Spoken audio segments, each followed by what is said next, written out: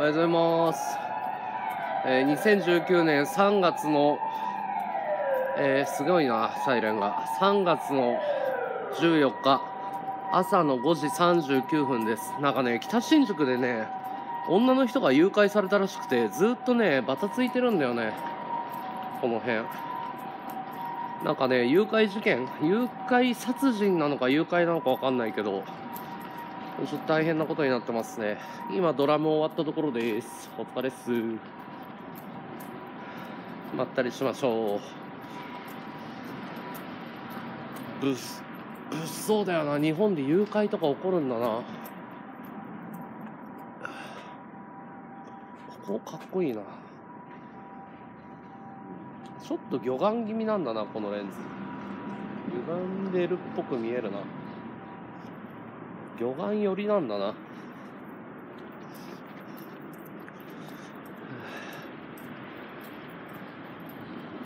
いやードラム気持ちよかった。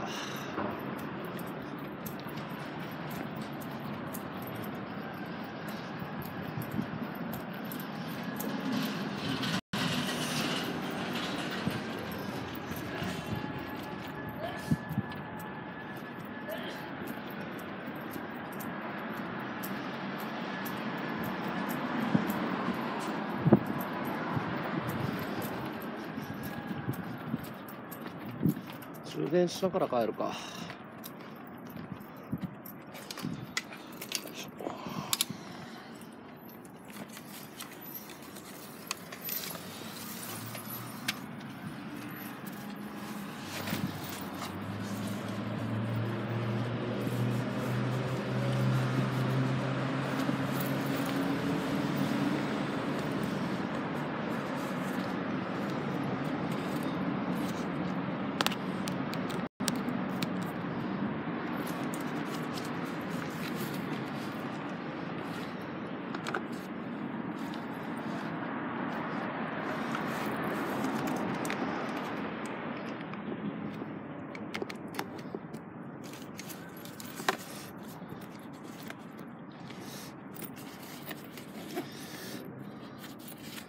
寝れねえな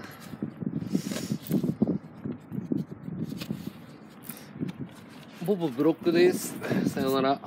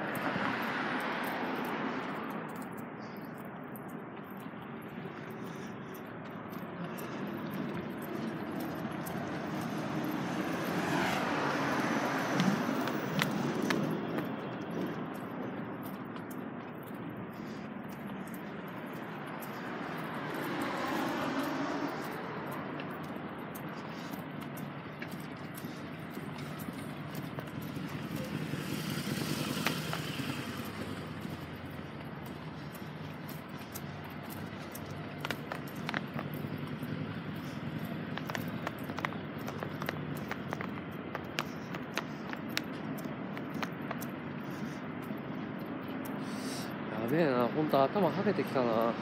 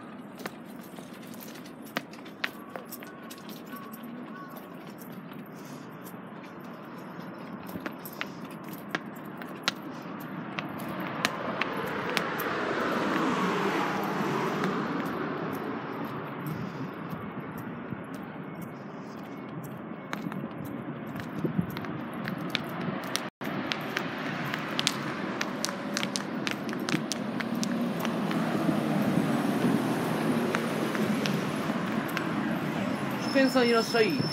青空さんいらっしゃい。面白かったらフォローしてください。ワトです。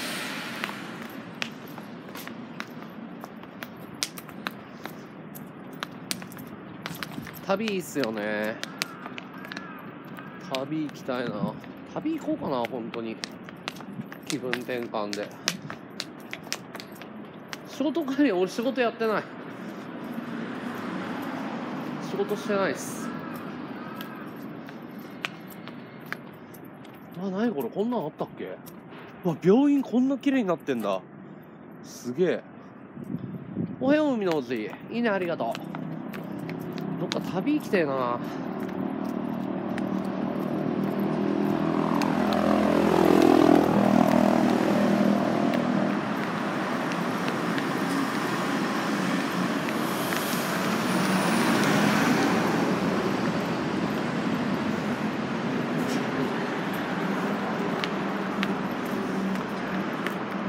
どこ行こうかな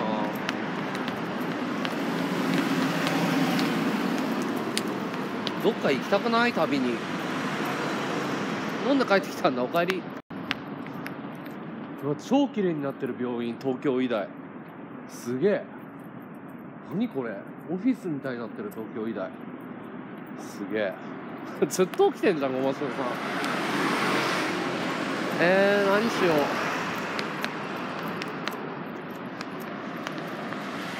何しようかな。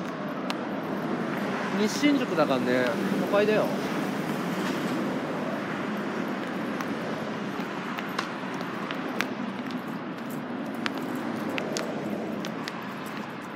どっか行こうかな。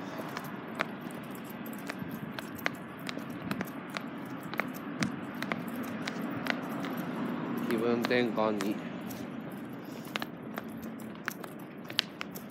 なんかあるかな。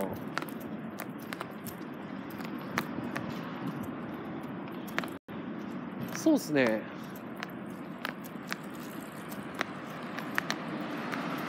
そうっすね。映画監督ですね。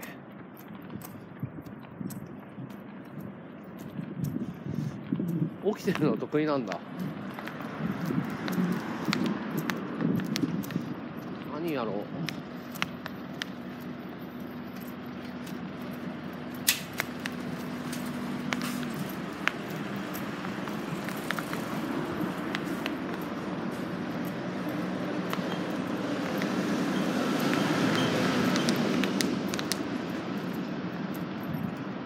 あ俺写真もやってるよ。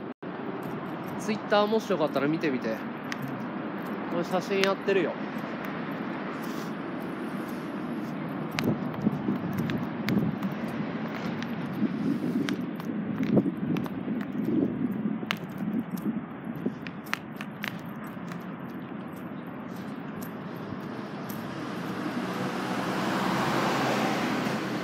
誰か車出せる人いないかな。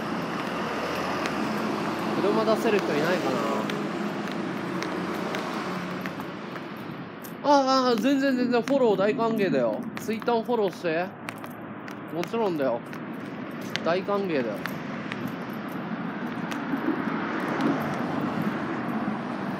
もちもち。面取り中華。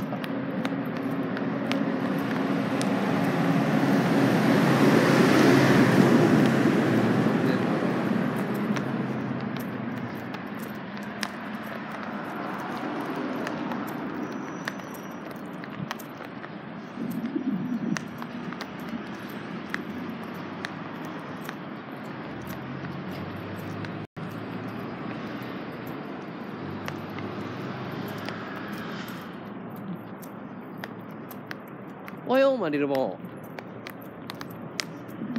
おはよう。朝日奈ちゃんちょっとやめたね。うん。ありがとう。東京じゃないんだ。青空さん。あ旅行きたいな。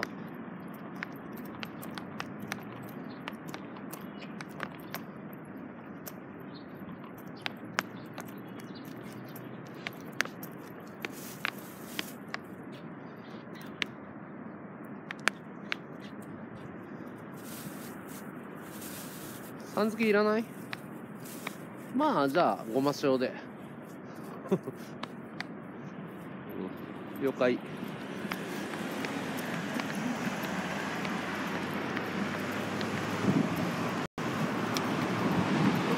行行きたいね。ストレスやばいんだ。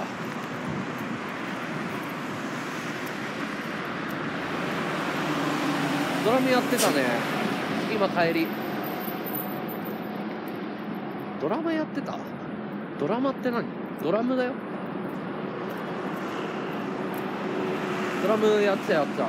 今終わったの夜中っつうか30分ぐらい前だよ。30分前ドラム叩いてた。映像綺麗だったでしょ？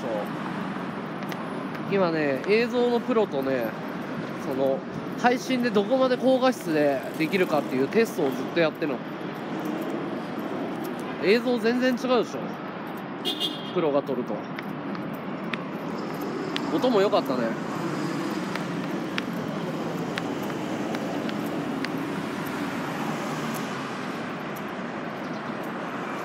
いやいやドラムは昔から趣味でやってるだけ。プロドラマーではない。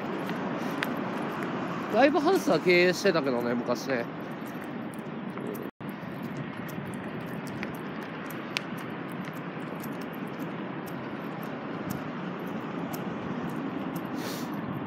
ドラム楽しいよ。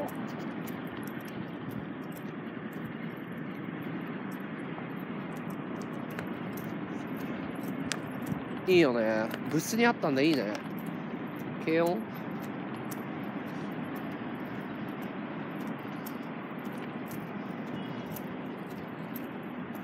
軽音か。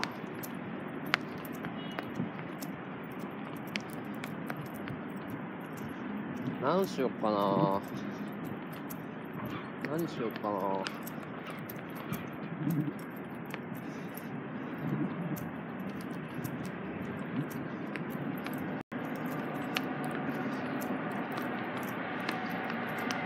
マジで？いや。もう配信今日10時間ぐらいやってるけど。いやなんか何しようかなと思って。暇なんだよね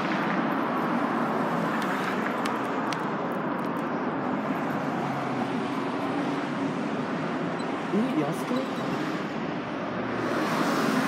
輸入雑貨1000円以下え？これ全部1000円なの？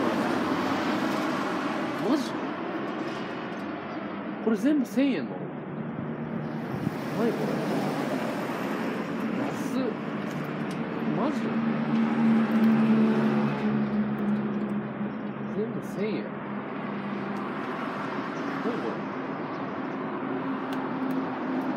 あ全部じゃねえかえー、すげえな何売ってるブランドなんだ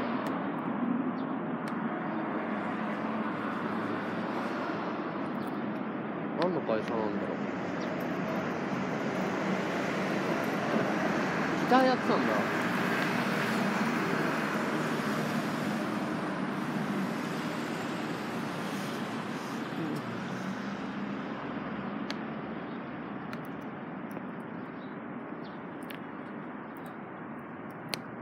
廃墟ハンティング行きたいな。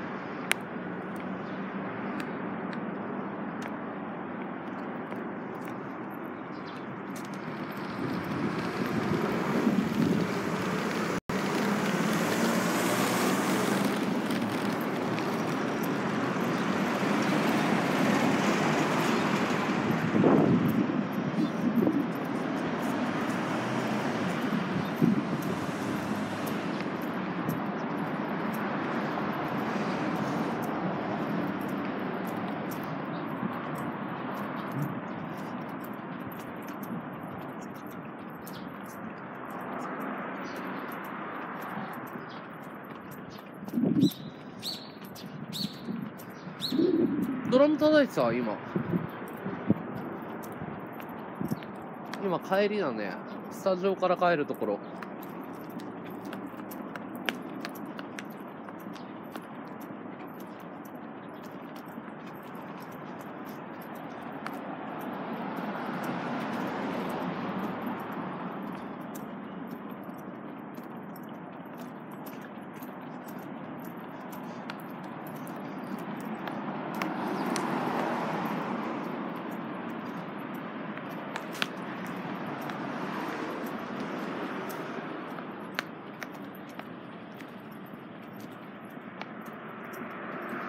趣味でダンスと遊び人だからね。遊びに。ドラムドラム。撮影のテストテストも兼ねて何撮ろうってなって。じゃあ音量ドラム楽しいね。いろいろそう機材のバランス見るのに。おドラムありかなと思って。ドラムどうすかっつって。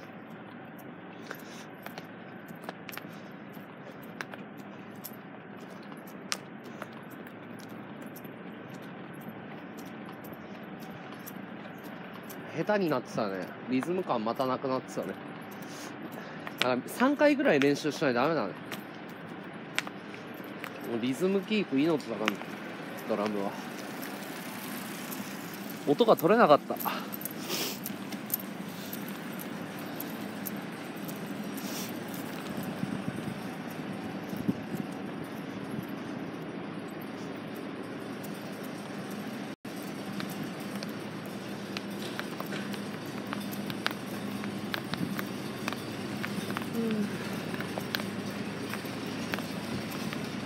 ラムとベースは絶対狂っちゃいけない土台だからね。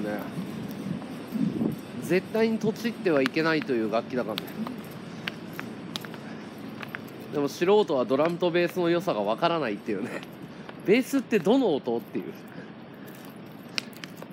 悲しいよね。ベースが一番要なのにねバンドの。ボーカルギターなんて下手でもいいんだよぶっちゃけ。裏方だよ裏方。音楽土方だから。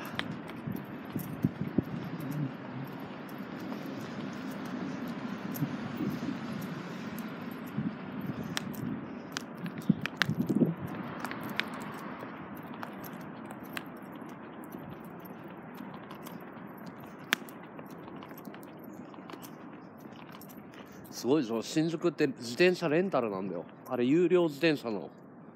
見える。俺東京だなって思うんだよなこれ。あのレンタル自転車。おヤンデレラちゃんあれ？サメちゃんの彼女じゃなくなったの？これ。これ全部レンタルなの。知ってる？東京明るいねもう。関西はこれからか。ほら。30分150円。すごくない？でどこで乗り捨ててもいいの？と東京って感じするよねこんなの。1時間でさ300円取るんだぜ。すごくない？え東京ってすげえなと思うよね。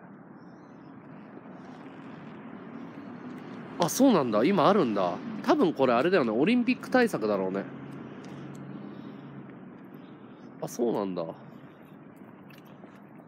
すげえよな。マリルボーンどこだっけ？ああ分かった分かった。思い出した。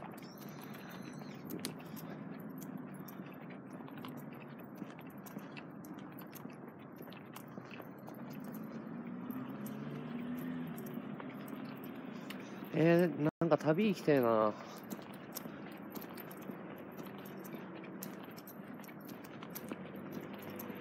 旅行こうかな。どうしよう。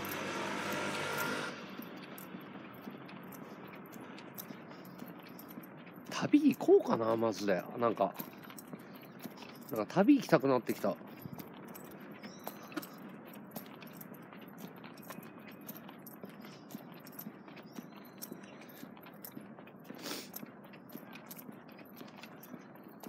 髪ブルーだよ、うんブルー。えなんか旅行きてえな。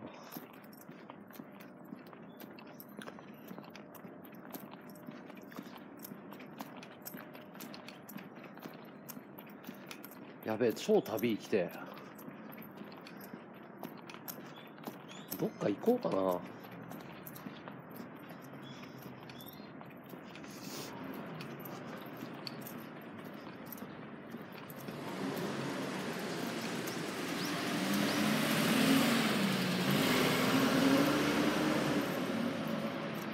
いや旅行きてえな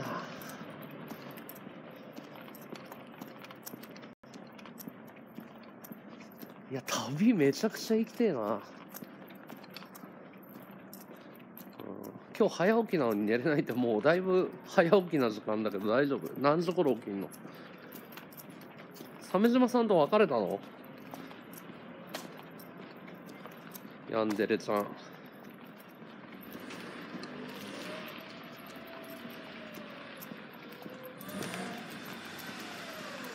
別れてないの？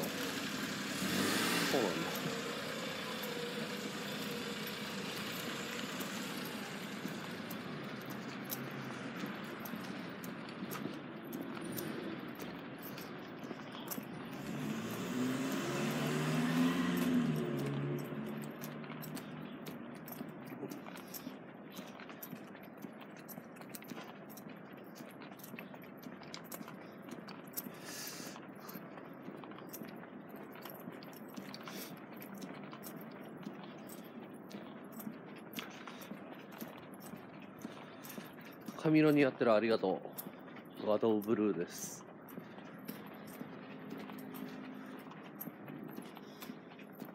あざーす。寒い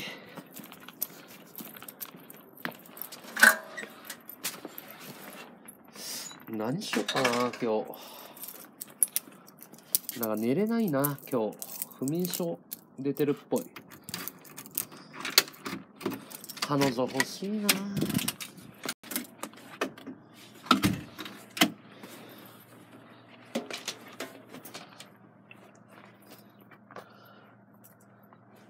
ねちょっと寒いね。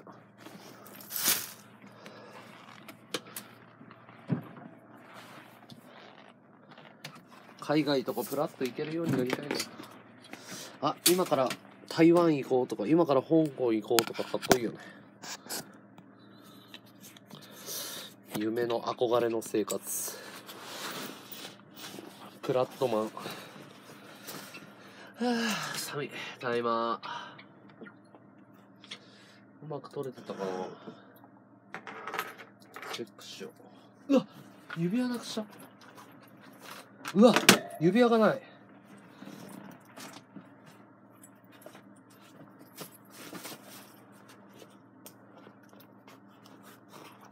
うわうわうわ。うわ指輪ない。やばい。うわうわ指輪ない。うわ指輪ない。やばい。指輪がない。うわ指輪がない。やばいやばいやばい。うわマジかやらかした。うわあんだけ言われたのに。うわ指輪ねマジか。あったよかった。いやーよかった。焦った。うわいや絶対何かなくすから注意してくださいねって言われてたんだよ。毎回なくすからって。あー出た。よかった。いや大切なもの。危ねえ。よかったよかった。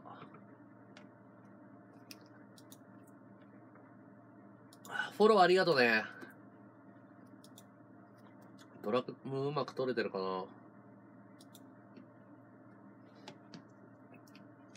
うまく撮れてるといいけど。ょっとサウンドチェックしますね。今日の。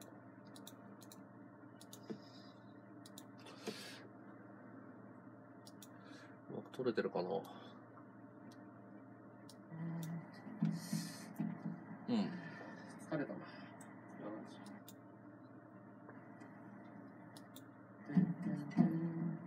プラスパッドが同じ一定のビートを刻んでる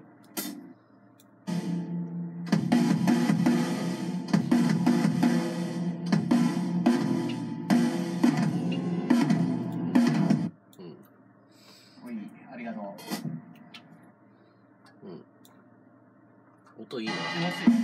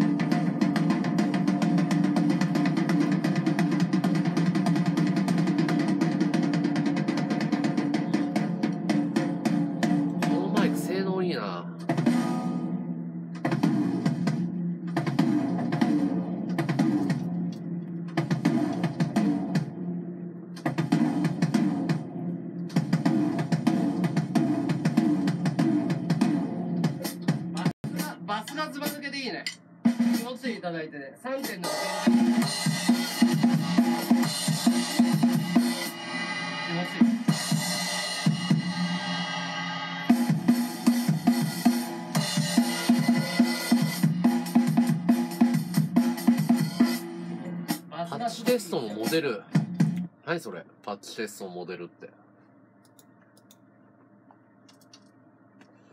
なんだパッチテストモデルって。モデル？何パッチテストって。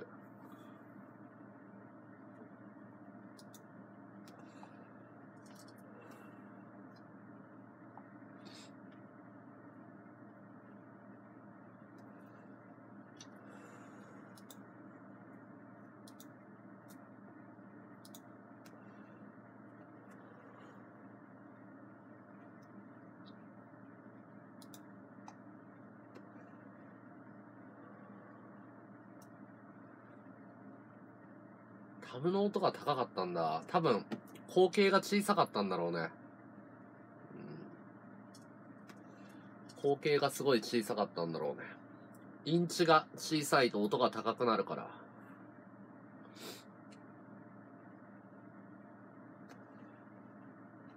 ふう安い。フロアとかもバカでかいのが好きだもん。今日のね、スタジオ、バスドラムがめちゃめちゃ良かったんだよね。すっげえ生音良かった。超好みの音作りだった。チューニングしっかりされて好きだったわ。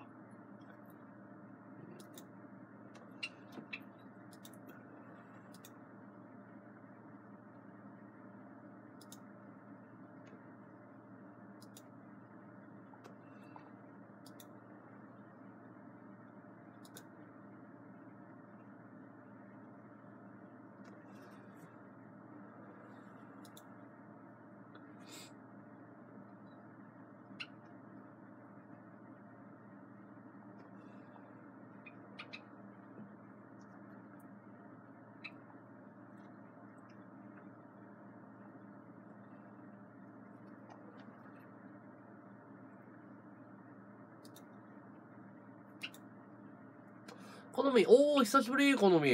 おはよう。久しぶり。久しぶりだね、本当にね。ブルーにした。うん。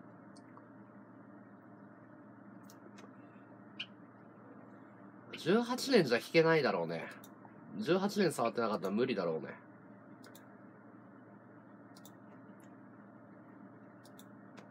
深夜、いや、もう最悪。言っていいことと悪いことがあるでしょ、好み。それ言っちゃいけないことだよ。ディスだよ、ディス。ダメだよ、言ったら。深夜っちょみたいだねっていうのはダメだよ、ほんと。最低だよ。ディスだよ。配信者にとってね侮辱行為に当たるんだよ。うん、2万円ぐらいなんだ。ディスしてないんだ。褒め言葉だったんだ。それは失礼しました。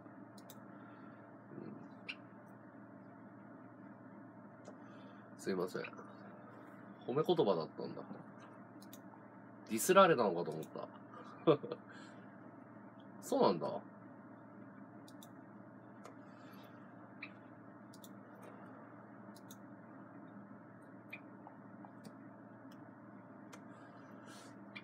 や、彼女作ろう。本当に。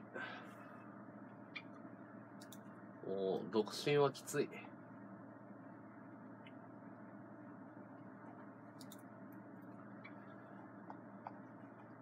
独身はきついよ。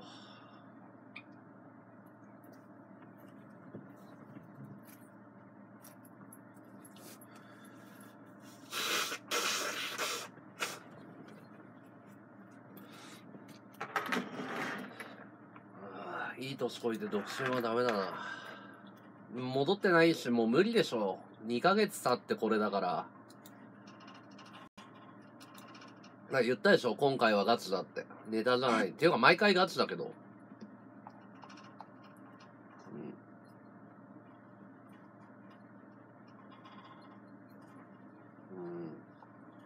うん。いや、だって、も、も、もうなんか家に遊びに来なくなった時点で俺の中では、あ、終わったなっていうのあったもん。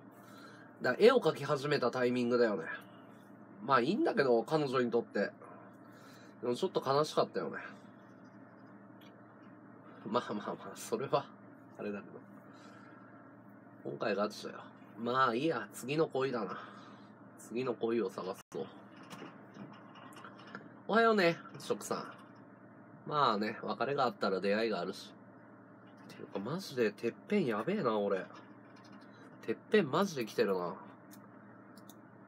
ていうか、てっぺん来なかったのになんだろう。すげえやだ。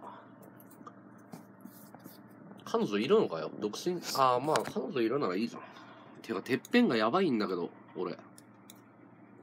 マジで薬飲もう。やばいよ。ちょっと待ってね。ほら。見えるかな？なんかね、来てるんだよね。薬飲まないとこれやばいよ。確実にこの辺来てるよね。うん。初見さんいらっしゃい。いや、ブルーの方が目立つ。金髪似合わない。やばい。この辺薄い。この辺。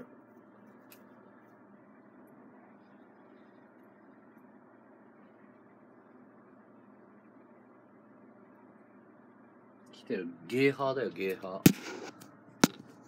いや、あのね、ストレス。だから、ストレス治るとハゲ、ハゲ治るの。おでこはもうしょうがないけど、完全にてっぺんストレスだね。最近抜けが多くてびっくりするの。よくマッサージしよう。完全なストレスだね。うん、完全なストレス。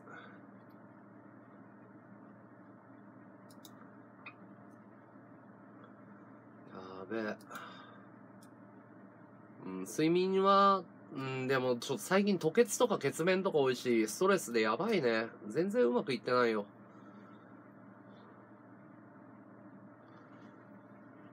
てっぺんマジでやばい。びっくりしたもん、この前。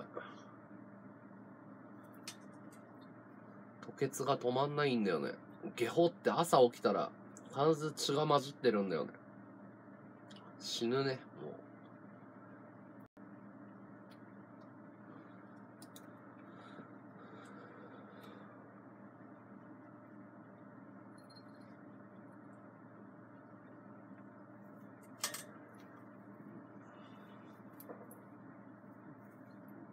いや、病院、保険証持ってないから病院行ってない。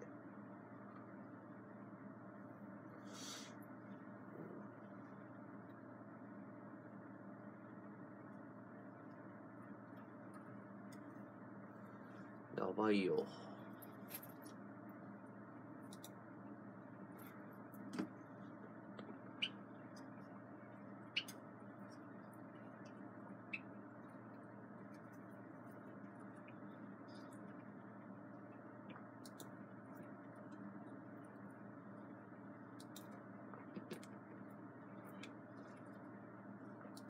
うん。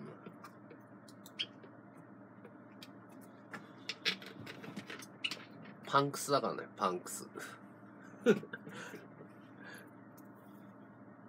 ただ、だらしねえだけだろうっていうね。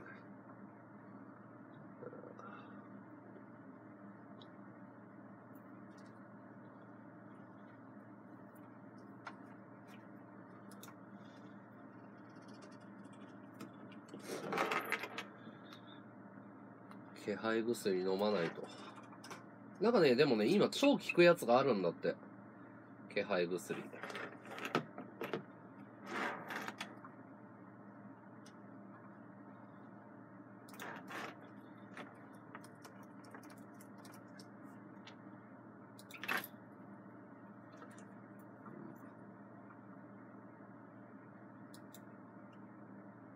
3ヶ月ぐらいやるとめちゃめちゃ生えてくるって。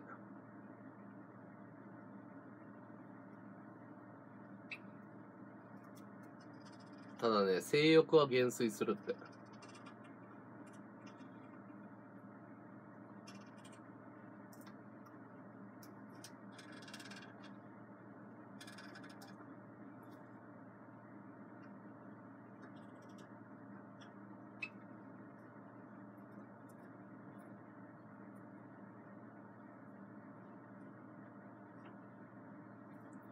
98%に3年間効果あった。すげえな、これ。うん。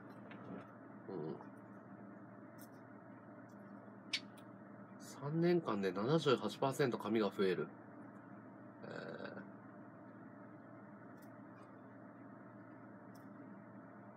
ー、すげえな、これ。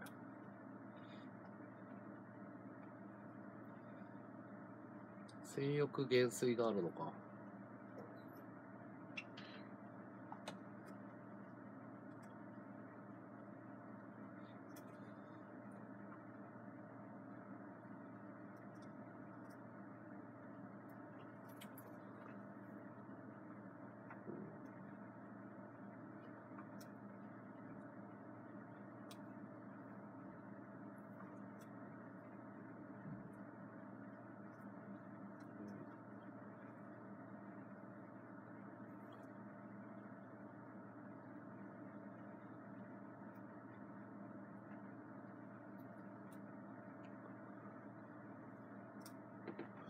性欲ないから、ハゲず髪が多い。性欲が少ない人は髪の毛多いね。ハゲ絶輪っていうのは正しいね。だ気配薬って全部性欲減衰すんだよね。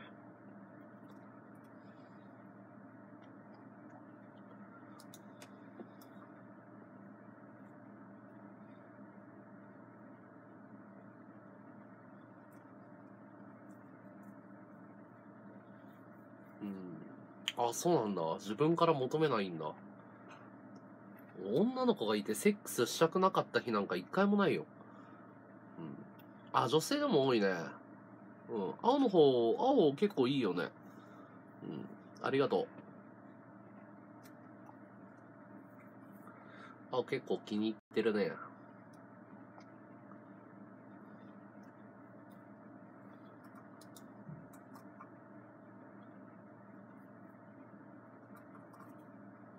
そうそう、テーマカラー赤だったんだけど、みんな赤にし始めたから、エセ赤とか。赤いいやと思って。被りたくなかったからブルーにしたわ。被ったら嫌じゃん。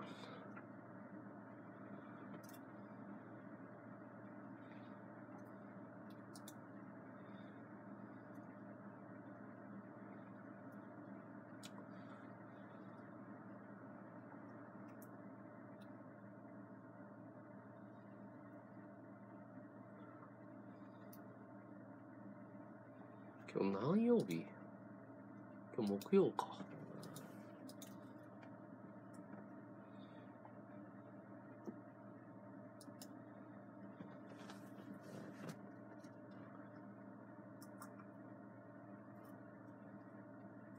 行ったことないの？マジで言ってんの？うんうん、かぶりたくないよね。なんかね、パクられたと思われたくないし。絶対嫌だ。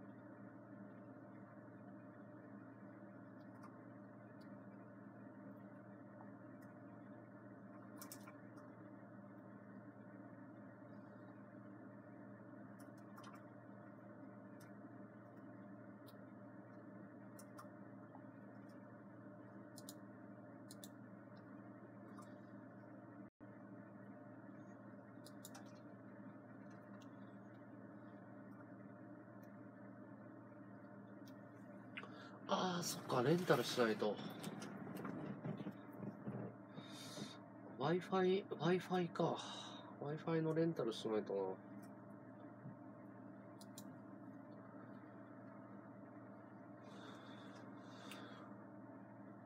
セックス俺相性ないね。俺、女性満足させられなかったことは、あんまりないかな。なんかむしろ不干渉で行ったことないっていう女性が初めて行ったとか結構あるから、セックスの相性がダメだったっていうことが今までにないね、正直言うと。むしろ、セックスには幻想を抱いてた人とか、なんか結構いるじゃん。セ全然大丈夫なのよ、俺。むしろ開発するのが得意だね。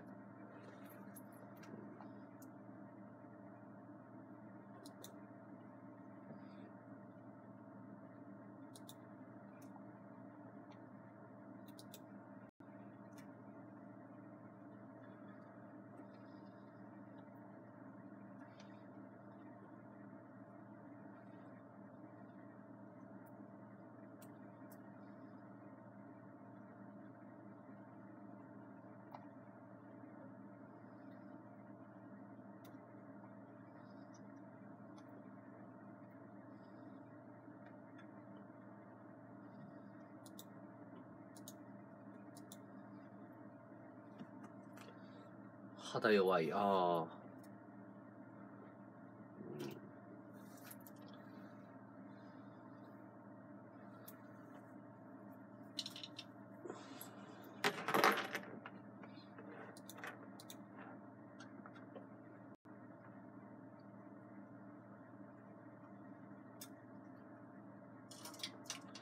手洗ってくるわ。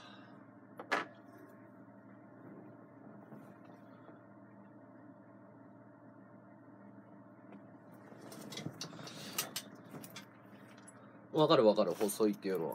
うん。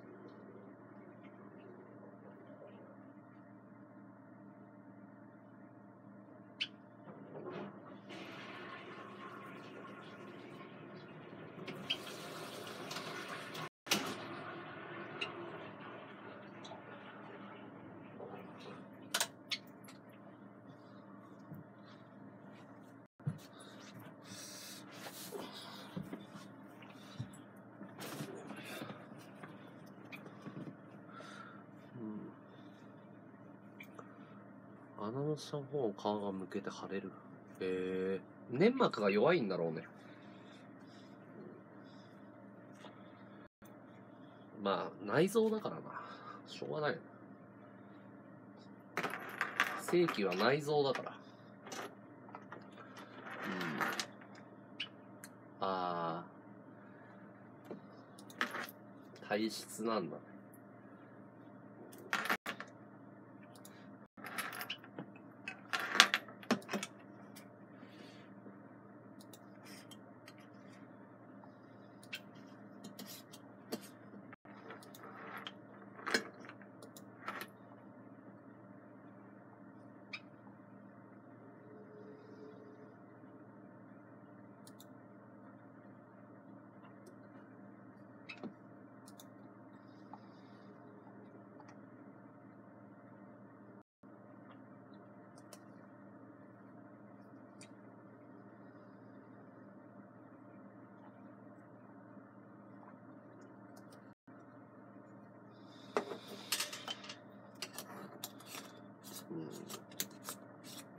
薄いんだ。な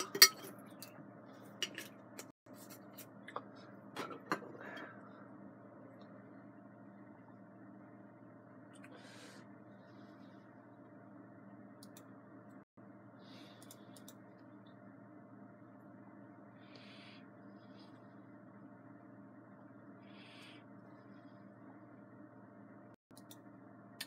写真撮りてえな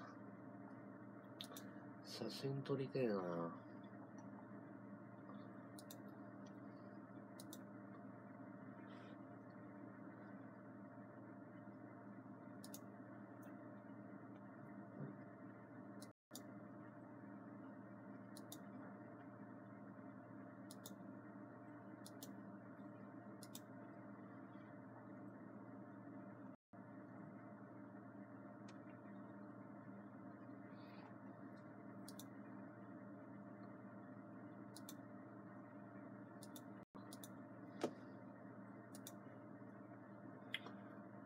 性病になったことあるね。うん、あるね。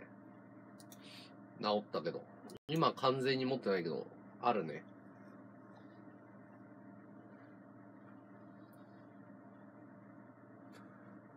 あありがとう、みーすけ。マカロンありがとう。おはよう。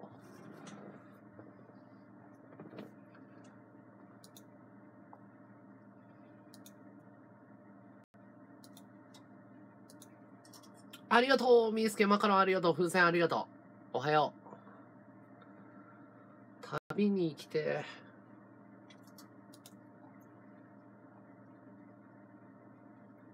うわー、花火ありがとう、みーすけ、ありがとう。なんか知んないけど、今日一発も花火上がんなくて。ありがとう、みーすけ、本日一発目です。ありがたっす。なんだろう、今日全然花火上がんなかったんだよね。超嬉しいわ。ありがとう。サンキュー。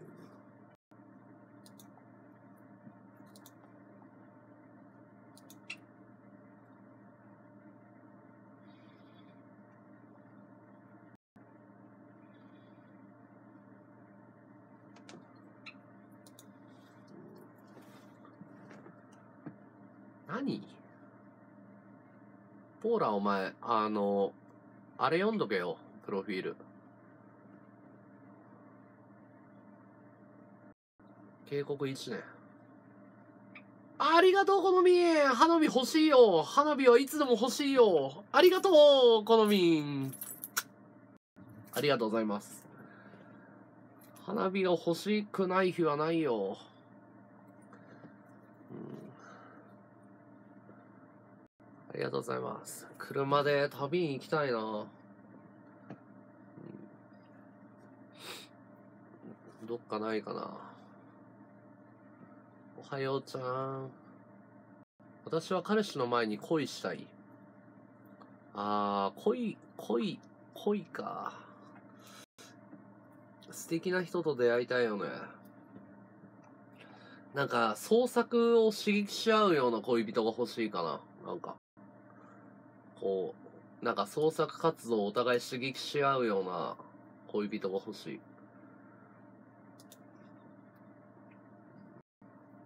廃墟いいね。廃墟いいね。廃墟。東京に廃墟ってないんだよね、でも。あるのかな？東京、廃墟。東京の廃墟あるかな？あ、いいね。4月。コーミンこっちの人なんだっけ？関東の人なんだっけ？廃墟いいね。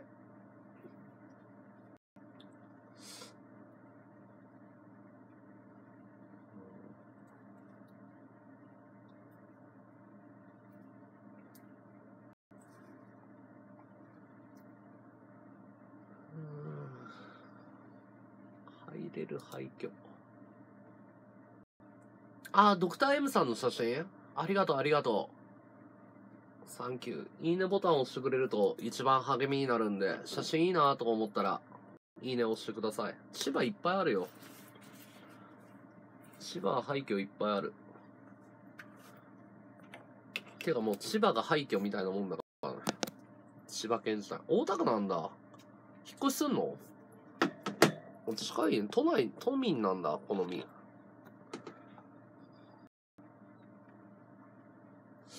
廃墟スポットあんのかな？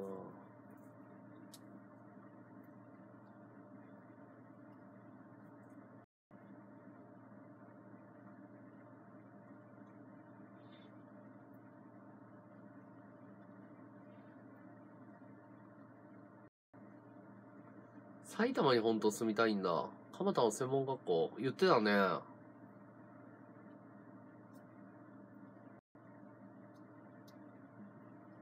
代々木会館。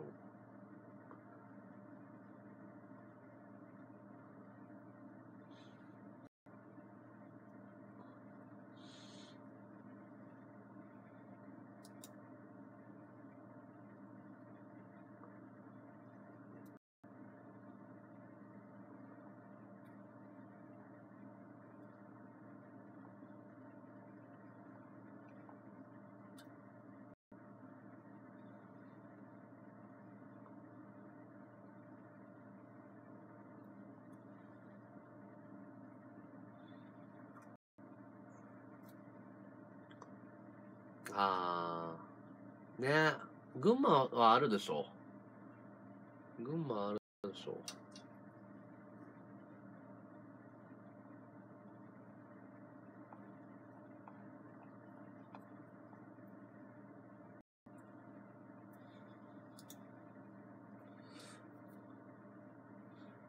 東京、府中米軍基地跡。府中米軍基地跡。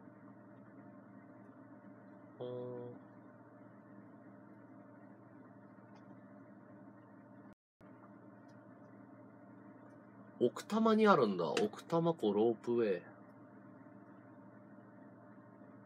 あー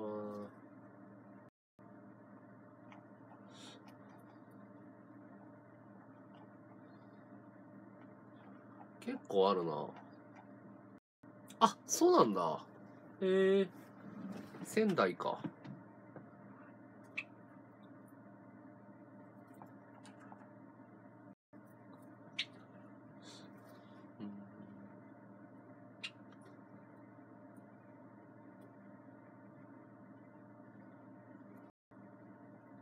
え、これ行ってみてえな。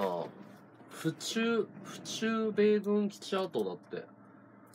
府中米軍基地跡。どこにあるんだろう。府中米軍基地跡。あ、そこ行きたかったな。あの、なんだっけ。あ、そんなに遠くないじゃん。府中ってどうやって行けばいいんだ？府中。府中って何線で行けばいいんだろう？国分寺とかの方か。中央線で行けるじゃん。え、これ行ってみようかな、今日。うん。えー、マジかよ。温泉付き最高じゃん。府中米軍基地跡。府中米軍基地跡。うわ、え？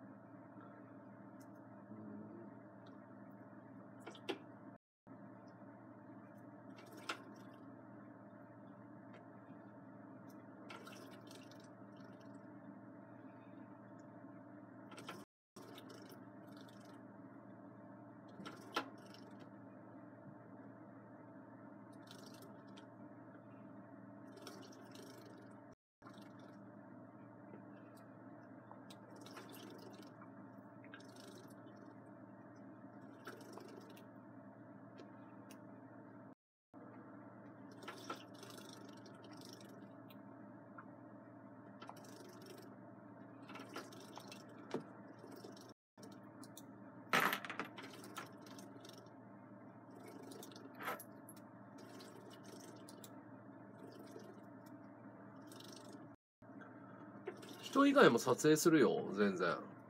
LINE で見たんだ。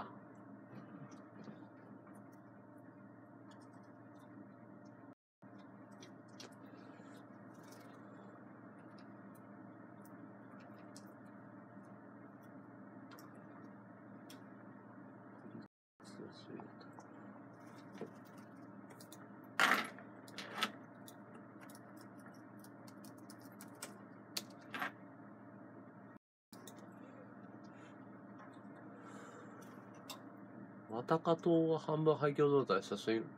渡嘉の島ってどこ？行ける場所がいいな。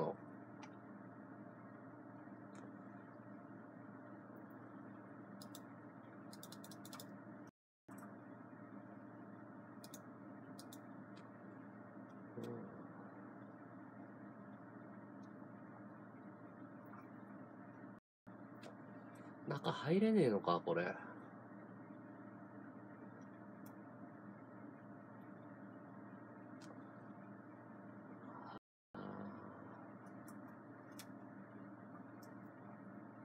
中入れねえんだ。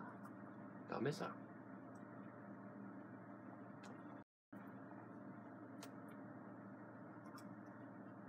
ダメだ。入れねえや。ダメだ。カメラ面白いよ。はい、むぎちゃんブロックです。さよなら。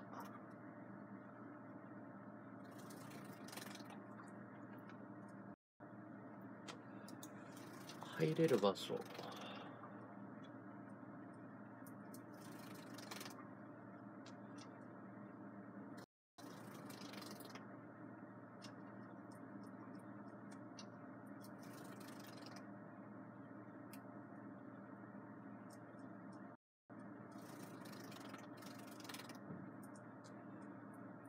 キラゲトンネル。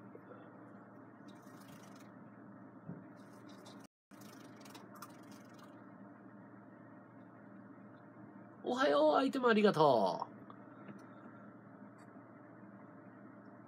う。三重県か無理だね。プルムテック吸ってるよ。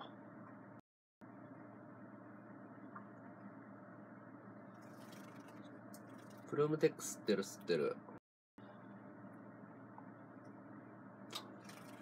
なんかいい感じの廃墟撮りてえな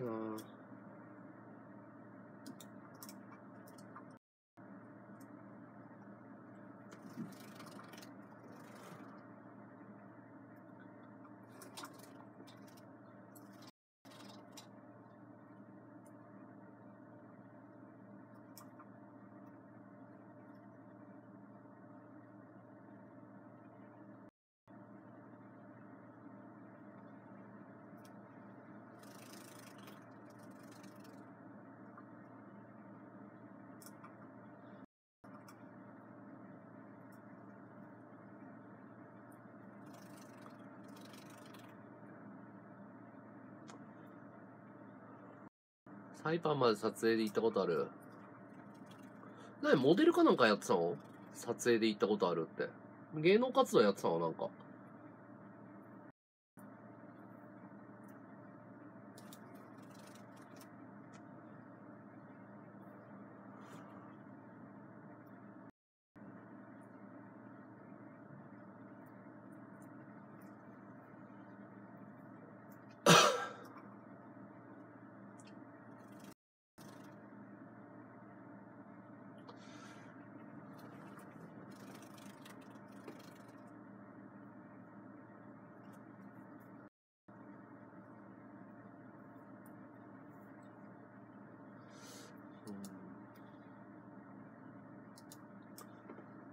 綺麗だもんね。好み。美人だもんね。3歳モデル？セクシータレントからの？マジで？ええー。撮らせてよ。やだ。撮らせてよ。好み。はい、ボンおはよう。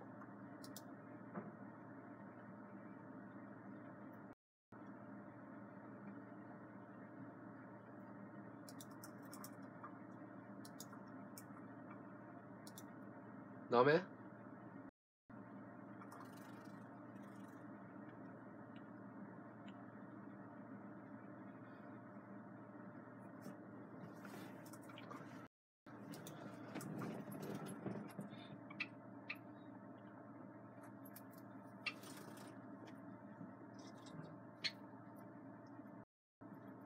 いやいやもうバシバシいろんな人とりたいから。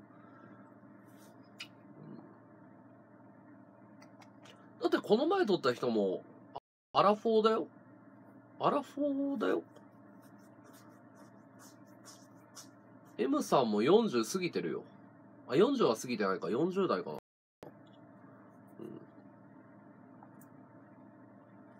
うん。好みこの前撮った人もいくつだったっけな。40いくつだっけこの人。だよ。この人。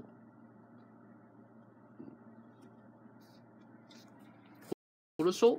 この前綺麗だったって M さんいくつだっけ？50ぐらいだっけ？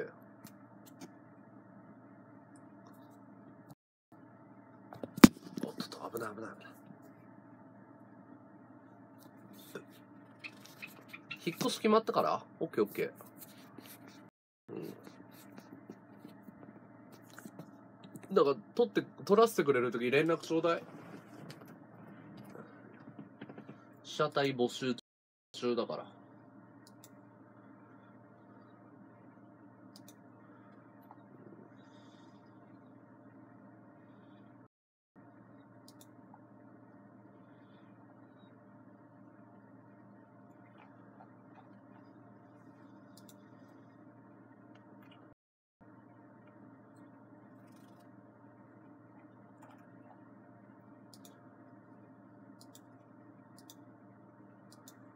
うん。よろ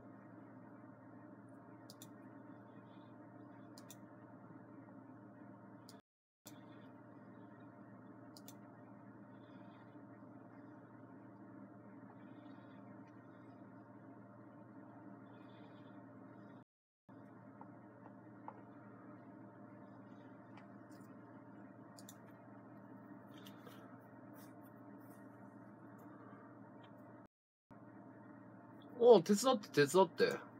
手伝って。いや M さん綺麗だよ。本当に。顔すごい整ってるよ。輪郭が。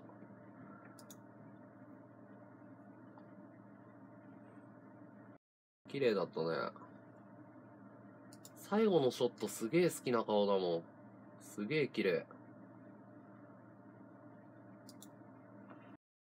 あれは渾身の一枚かな。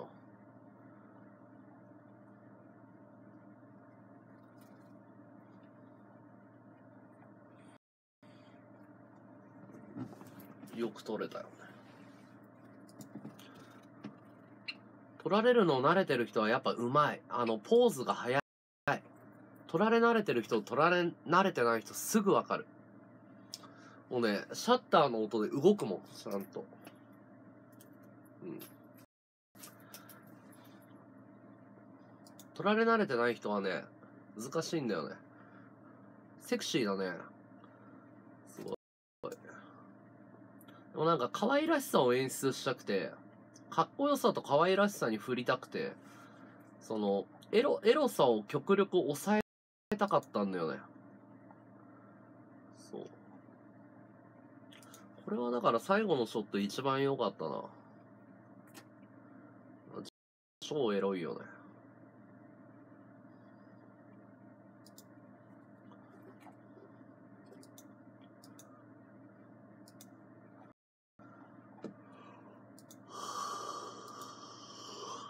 あ、猫っぽいね。うん。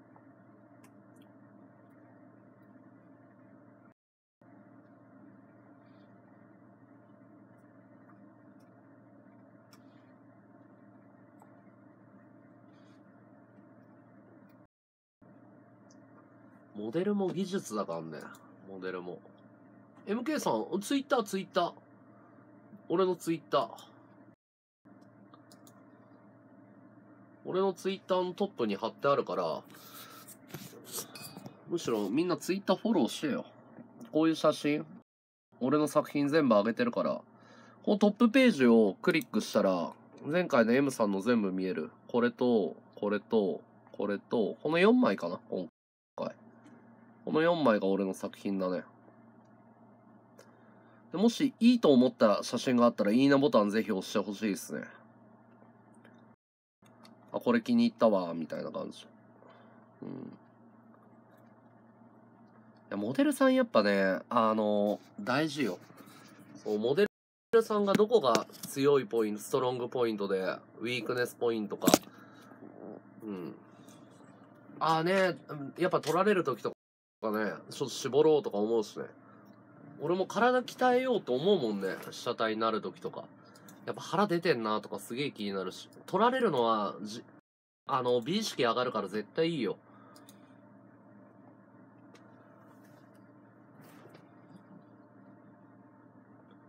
芸能人が綺麗なのって見られてるからなんだよね。常にカメラが回ってるっていう意識があるから。だから閉まるんだよね。素人とのさそこだと思う。だ芸能人3年4年やってくると顔が綺麗になったりするのあれなんそれなんだよね。見られるっていうことを意識するから自分のその得意な画角みたいなものを意識するからね絶対。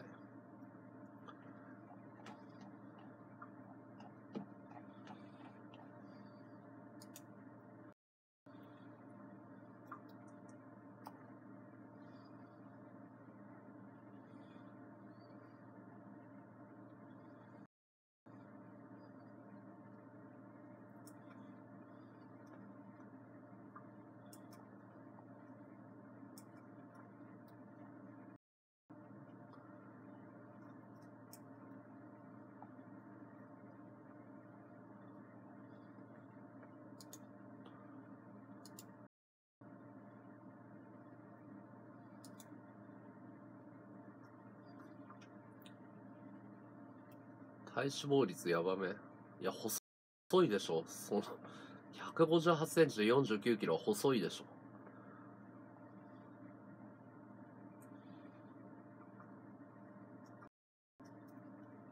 まあ、体重じゃないかんな。ラ、フォルムだかんな。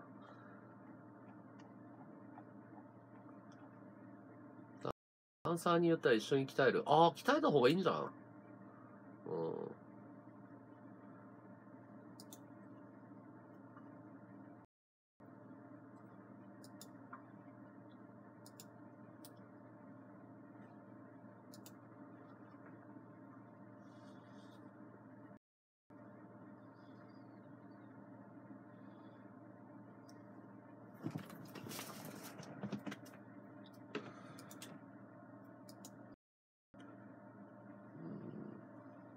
あ、30か。ちょっと多いかもね。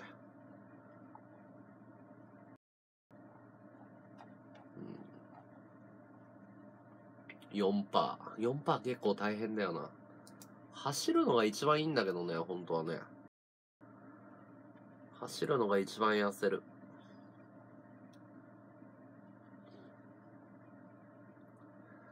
誰か取せてくれる人いねえかな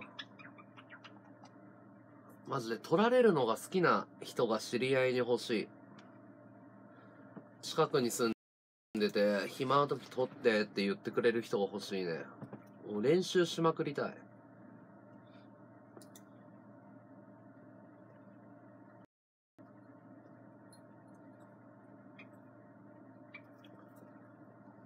自分のその、なんだろ、う、取り方みたいなものを確立したいんだよね。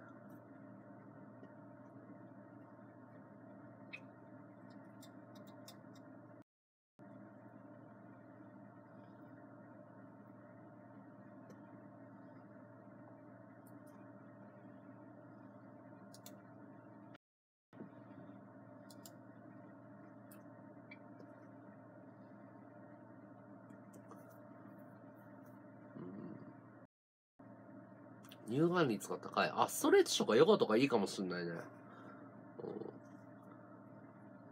それありだ。ね。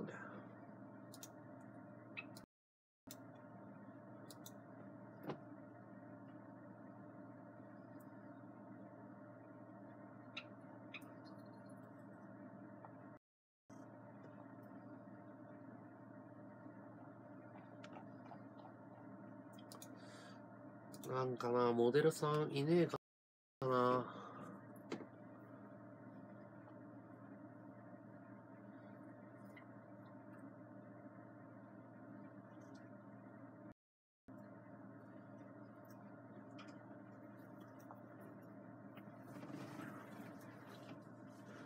おお、ソラさんおはよう。金魚姫おはよう。おはつ。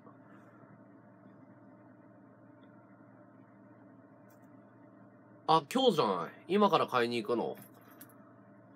今何時だ？買いに行くの？今日、ソラさん。いいな午後。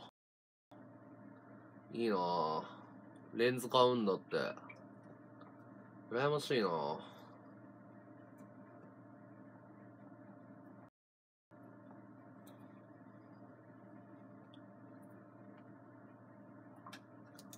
いいなぁ。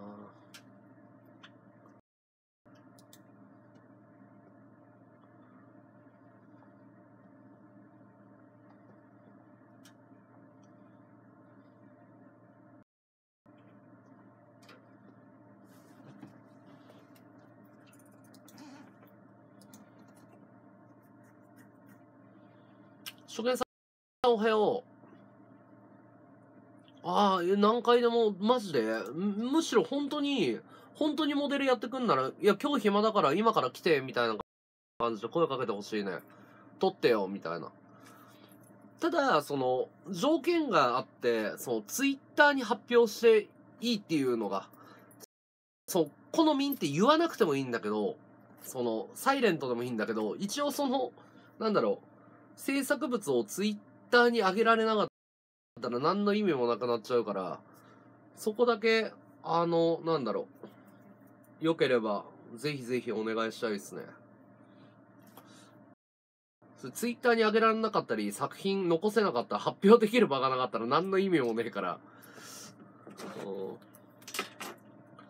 の評価を得れないと、結局その、なんだろう、無駄になっちゃうんだよね、俺の場合。サイレントには全然できるんだけど。あ、マジで？そしたらめちゃくちゃ助かるわ。むしろ痩せなくてもいいから今から撮らせてほしいわ。今からっつうかその、なんだろう。すげえ撮らしてほしい、何回も何回も。むしろ痩せていく過程とかも。そしたらインスタとかにこういう感じで、インスタやってるから、こういう作品、自分の作品。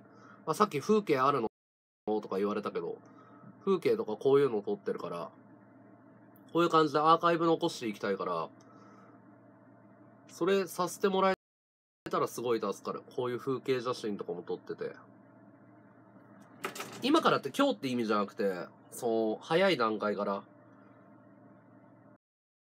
その全部勉強になるの。太めの人だったら体のラインが出ないように、服をこうして撮るとか、なんだろう、顎のラインをこう、シャープにしながら撮るとか、その、なんだろう、全部が練習だから、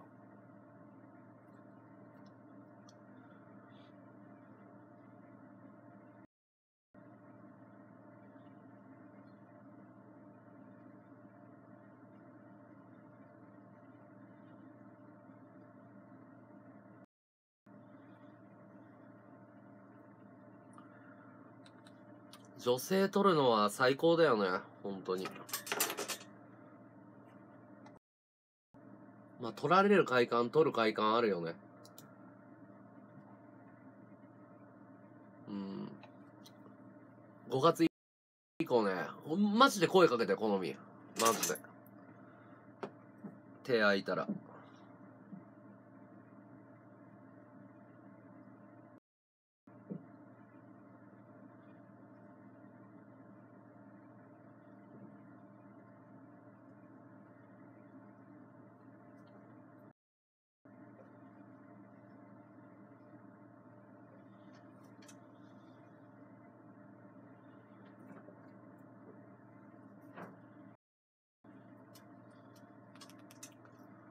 り方でだいぶ見え方変わる。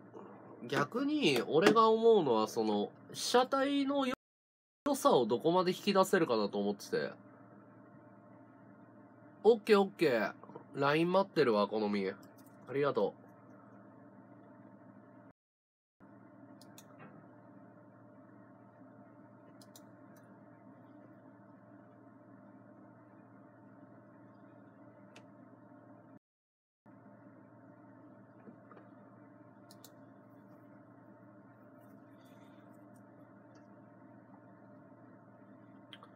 楽しみな。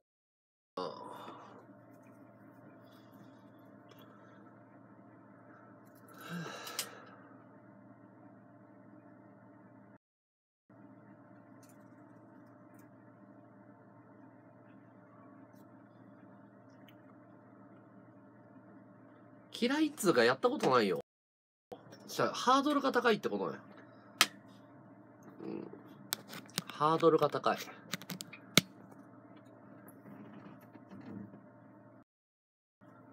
あと、被写体とその対等な関係を作りづらいから嫌だ。俺が求めてるのは対等な関係で、その、結構ね、それが成立しないこととかすげえ多いから、そこは結構こだわってるところかな。モデルさんと対等にものを作らないと、あの、いいものは作れないっていう。取らせてあげる感と取らせてもらってる感両方出しちゃいけないと思って共同制作だから、俺、説明すると長くなるんだけど、そう、カメコとカメラマンの違いかな。俺の中で。カメコには絶対なる気ないから、対面人、人狼会が趣味。ほうほうほう。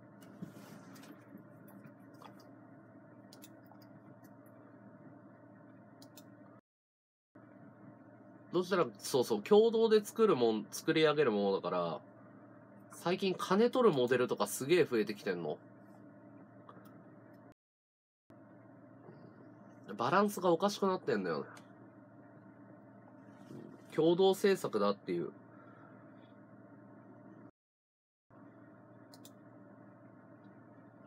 そこはこだわりかな。カメラやる上で。すっごい難しいと思う。テクがめちゃめちゃ必要ジャンルだと思う。めちゃくちゃ難しい。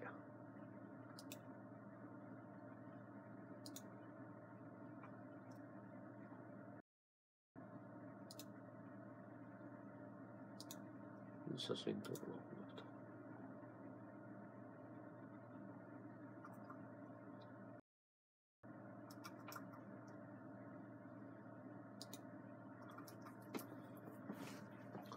あ、フォローしてくれると嬉しいですね、普通に。やっぱりフォローされると嬉しいですね。嬉しいね。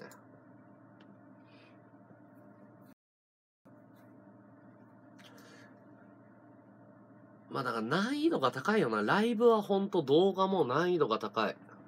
話聞いてると。あと動線確保できないのはやっぱね、俺は納得できないね。撮らせてあげる感、アーティストの撮らせてあげる感はやっぱり納得できないから。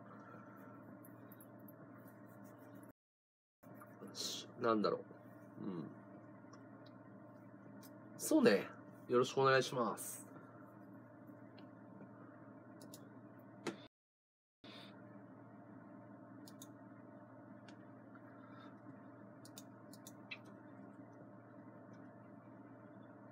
たになるよね、わかる。くったくたになる。あとね、俺がね、エンジン自分がかかるまで結構時間かかるタイプだし、シャッターを切り始めたらすごい早いんだけど、その、乗るまでシャッター切らないタイプだから、向こうのペースじゃん。簡単に言ったら。それが苦手なの。向こうのペースに合わせて撮るのが苦手だから、お互いのその帳尻合うまですごい時間かかるんだよね。だからプロにはなれない俺は。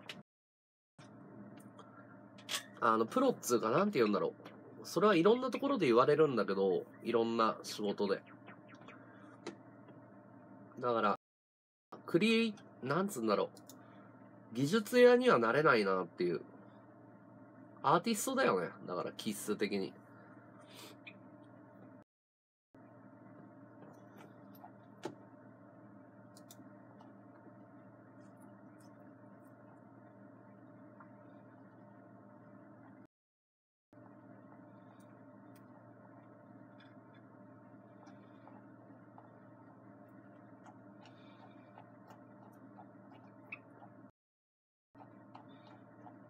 レンズいいなぁ。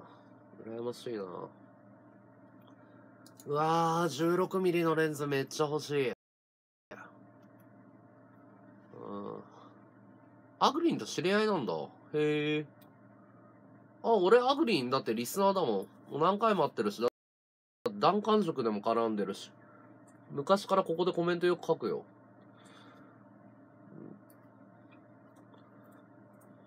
うん。アグリン全然、最近放送見に来ないけど。アグリン、まあ仲いい方なんじゃないかな。あ、そうなんだ。えー、バンドマン目指すべきだったっていうか、バンドマンだったからね、もともと。今日もドラム叩いてたよ。見た？セフィ。今日もドラム叩いてたよ、ほら。好きなリズムはミドルテンポがすごい好きで。100 120ぐらいかな？100 110から130ぐらいが好きなのね。でまあ基本的な。う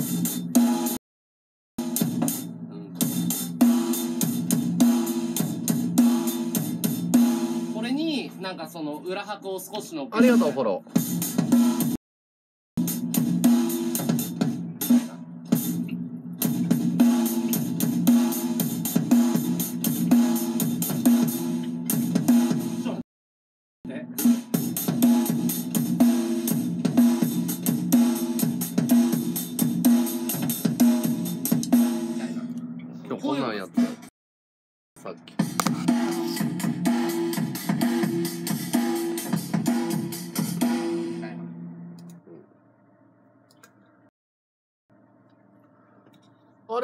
プロだね。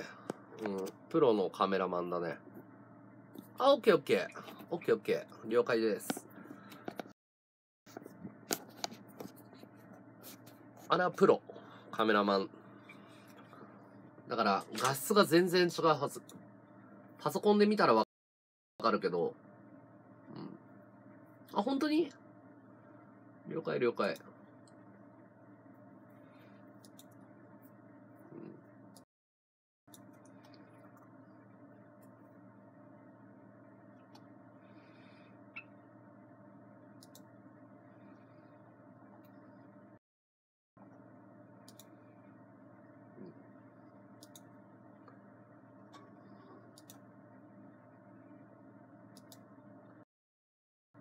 フォーに見えねえな、若えな。アラフォーに全然見えねえ。っていうか、20代みたいな顔してんな。あー、綺麗だな。撮られ慣れてるっつうか、顔の作りがやっぱ違うよな。全然綺麗だね。ニコンは14から 24mm F2.8 という神レンズがありますが30万する。アグいいよね。素直で可愛いよね。可愛げがあるよね、アグリンは。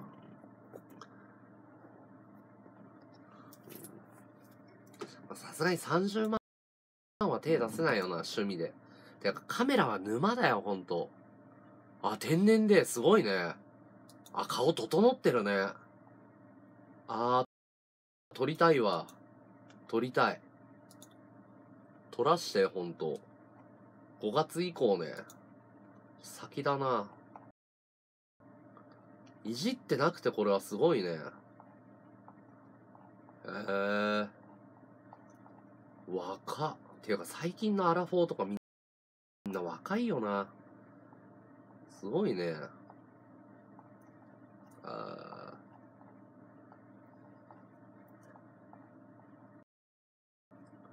年齢聞いた時ビビったもんな、この前。うん。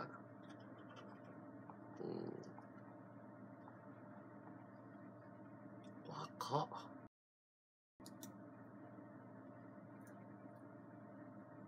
若っ。これ騙されるよな。うわー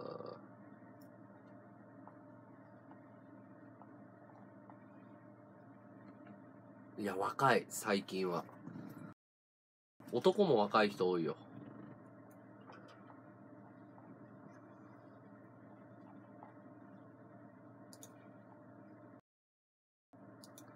わかんない。もう年齢がわかんないもん。女の人の。年齢がさっぱりわかんない。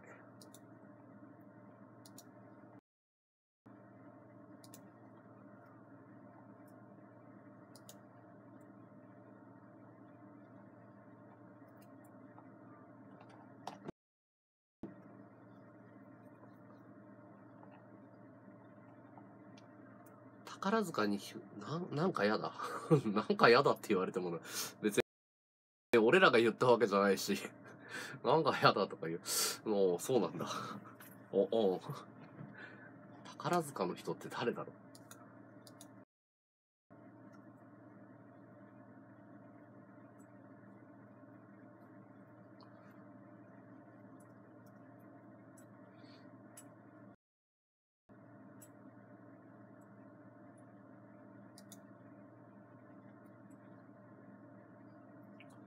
ダンレイめちゃめちゃ好きなんだけど。ああ、でもそっち系だね。宝塚の目型っていうか女型だよね。うん。あ、そうなんだ。50超えてるんだ。へえ。50超えてて現役で音楽やってるってすげえな。すげえな、それ。本物だよね。40、50超えてて続けてるものって本物だよね。本当に好きじゃないと、できないと思う。20代、30代フラフラするけど、まあ、特に20代、10代か。30でフラフラしてるのは俺ぐらいだろうけど、40で続けてる人は本物だよ。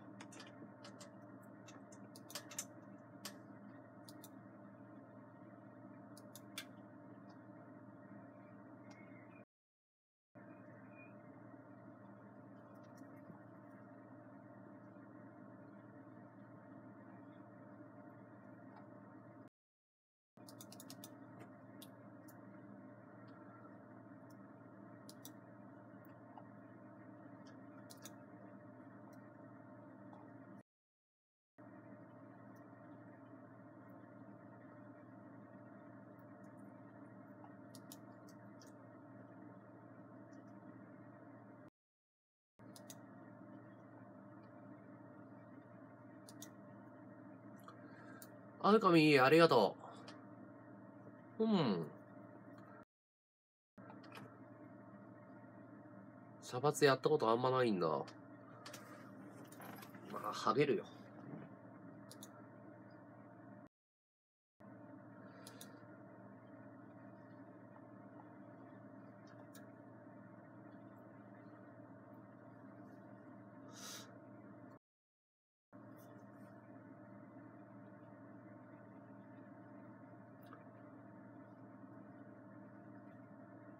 うーん。暗い髪が好き。バカありがとう、ボン。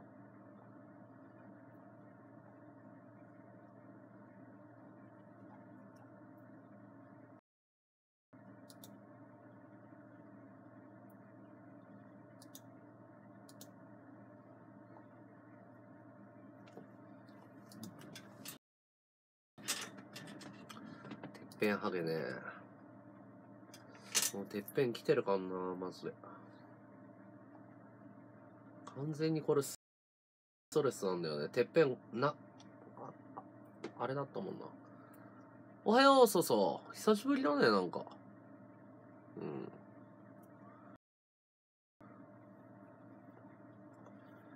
マジでストレスやべえよな。なんか写真撮りたいし、動画撮りてえな。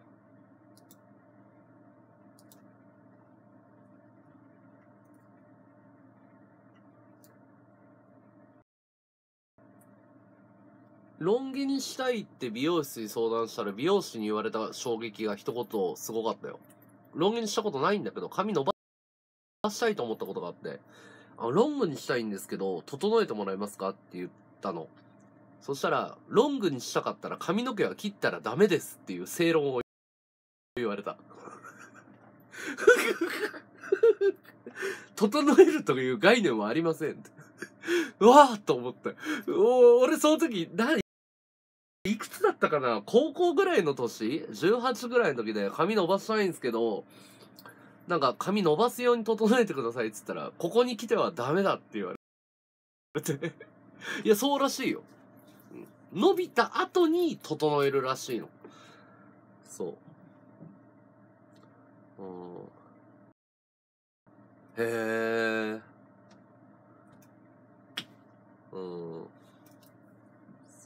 そ。りゃそうだよなっていう。なるほどだよね。そりゃそうだわって。いや、髪の毛を切るっていうのが今の髪型でどう切る、整えるかの話だからね。あ、ありがとう。お、スーパークリックさんいつもありがとう。おはよう。あ、ありがとう、たくさん。いつもありがとうね、クリックさん。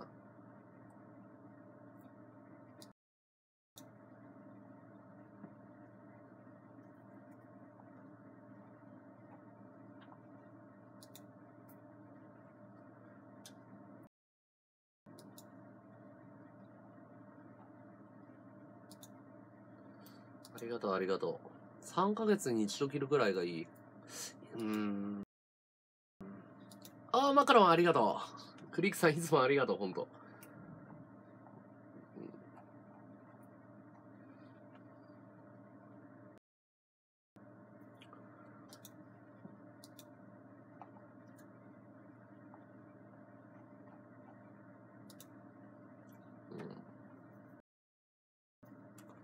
うおおマジかよ。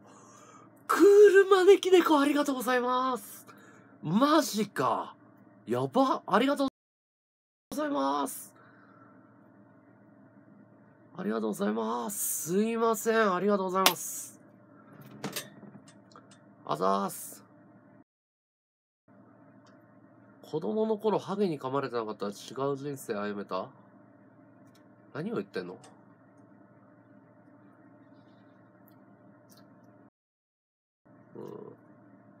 腰まで伸ばしてたんだ。えー、ヘアドネーションはよくわかんないけど。あ、あさあ、ドンチキ、ドンチキ。ありがとうございます。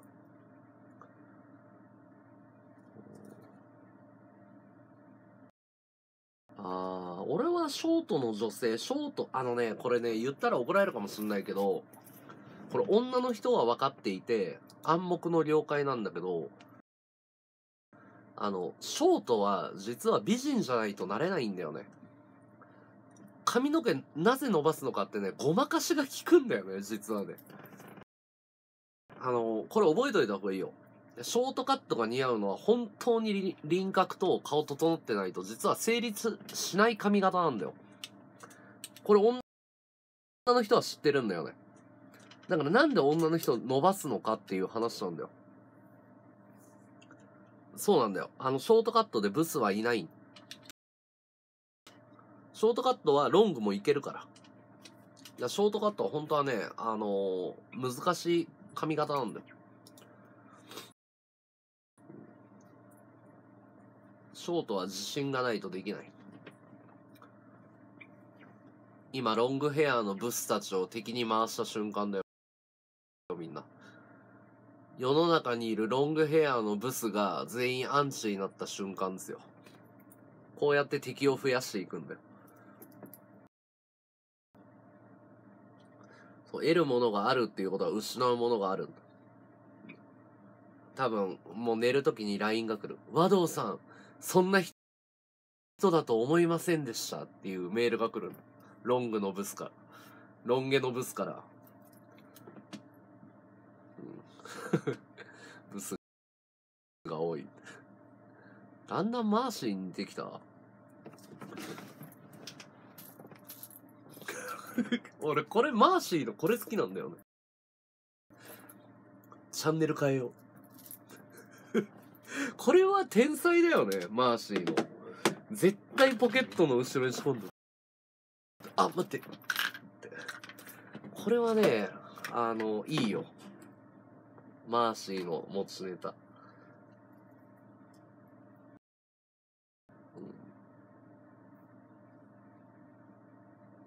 ああ、そうなんだ。へえ。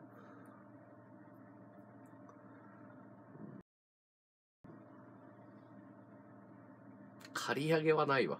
あ、でも刈り上げでもかっこいい女性いるけどね。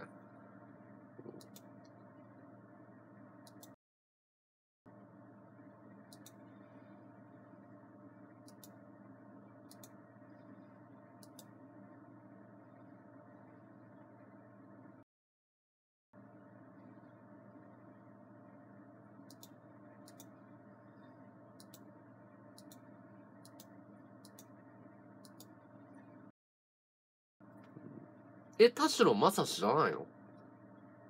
田代正史のマーシーじゃないの？え、だ、誰のマーシーなの？え、俺田代正史だと思ったんだけど、違うの？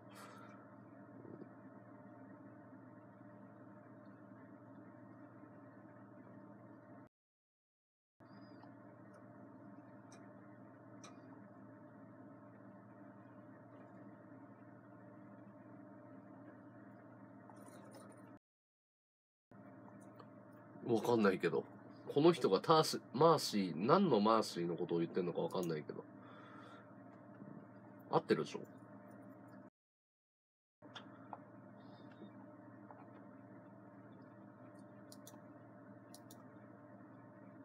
んハサナ？田代正史合ってるよね。うん。許せるブスと許せないブスは俺は愛嬌だと思ってる。女性の最大の武器、愛嬌。だね、結局ね、その、なんだろう、そこだよ。許せるブス、許せないブスは。女は愛嬌だから。うん。はい、ワドツ、マチルダいらっしゃい。愛嬌めちゃくちゃ大事だよ。っていうか、女は愛嬌だけで人生変わると思ってるもん。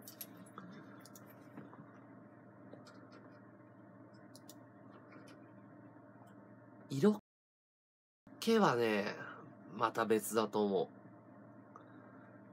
色気はね、違うんだよ。色気はね、同業からね、同業つうか同性から嫌われたりするから。色気はなくても大丈夫。愛嬌はマジで大事。布団を顔で隠せとかもう最低な発言だからやめてくんない？本当に。そんなことしたことないよ。笑顔ね。いや、不潔は男もダメでしょ。不潔は男もダメだろ。人としてダメだわ、そんな。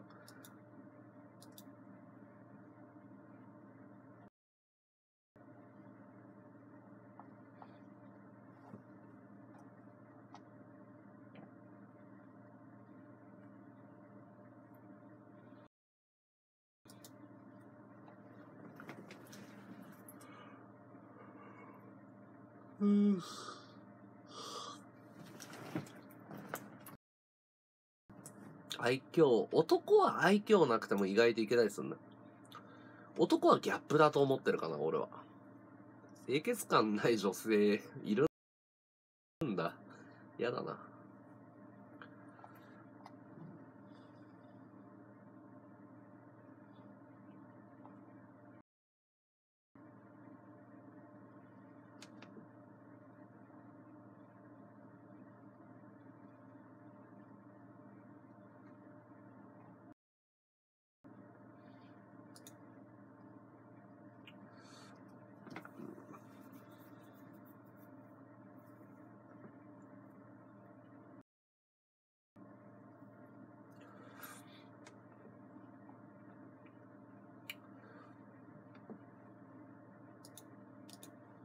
色気、じゃあ許せるか許せないかの話だ。許せるか許せないかが愛嬌だよ。色気はあった方がいいよ、それ。だ色気があると許せるか許せないかってなると話別じゃん。男は優しさ大事だね。わかる。男は優しさ大事。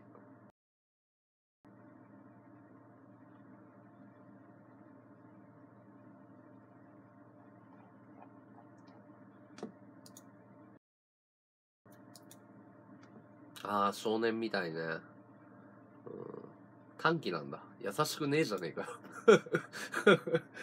優しくねえじゃねえか。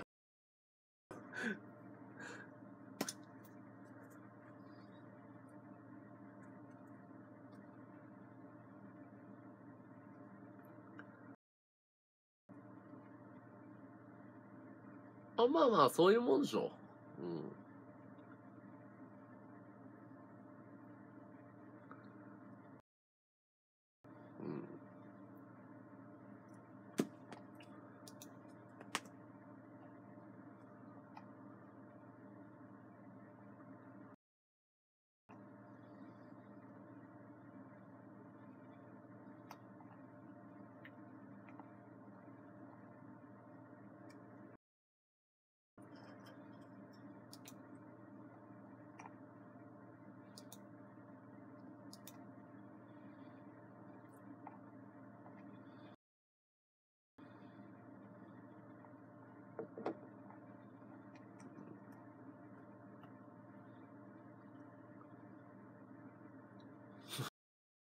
うん、わかんない。知らないよ。立ちたいか座り、座りゃいいじゃん。なんだこのコメント欄。知らねえわ。座りたきゃ座れよ。なんなんだよ。どうしたお前ら。調子悪いのか知らん知らん。なんだ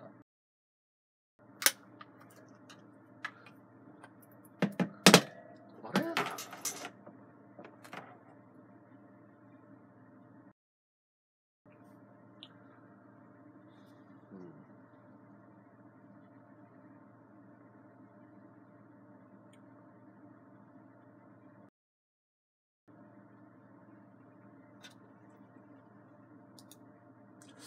うんあー、カメラ撮りてえな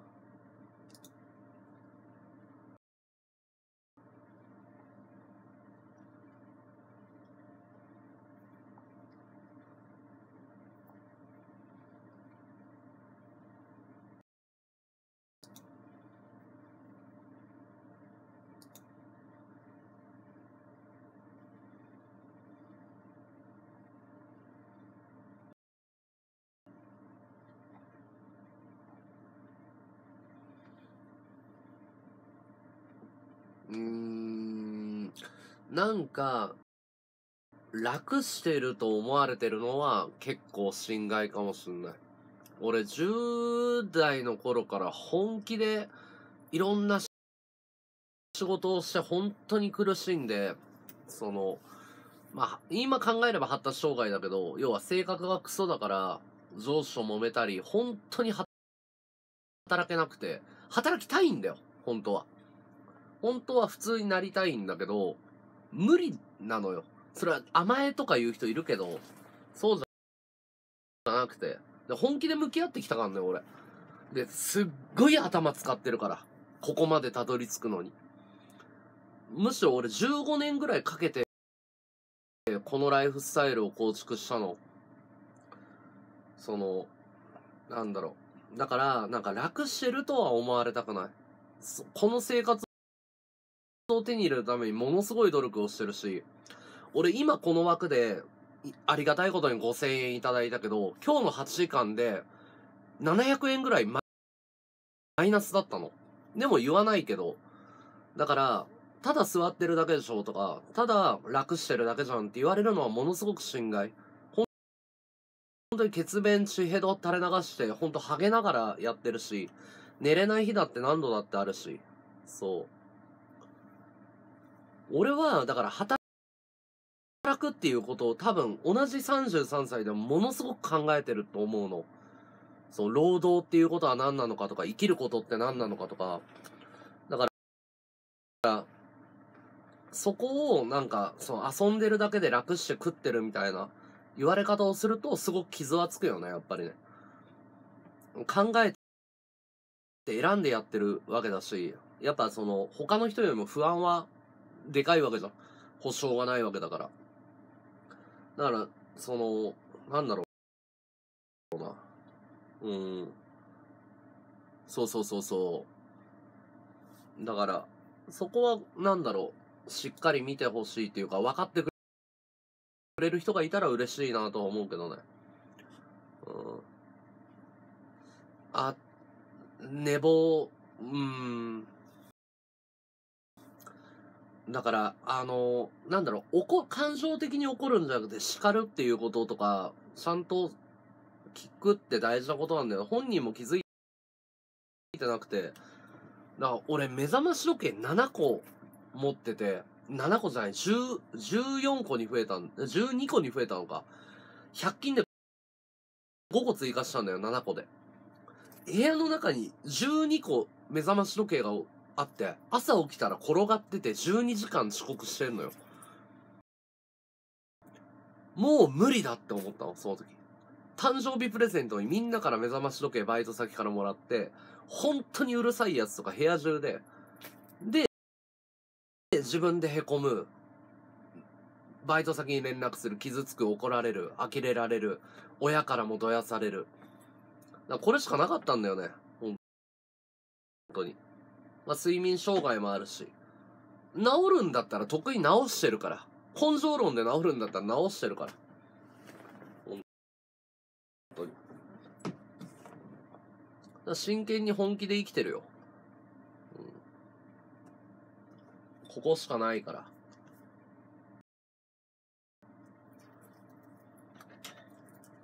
まあそれでも楽してるって言うんだったら、もう勝手に言えばっていう。お前にはわかんねえよ、俺の苦しみはっていう。はっきり言うけど、だから仕事はできるからね、俺。はっきり言うけど、用意どんで同じ現場に行って、まっさらの状態だったら、多分1.5倍から1.8倍ぐらい、普通のやつよりも働くもん。だから、あの、社員に誘われたこと何回もあるし、あの、社員にそれ2回なってるし、バイトから。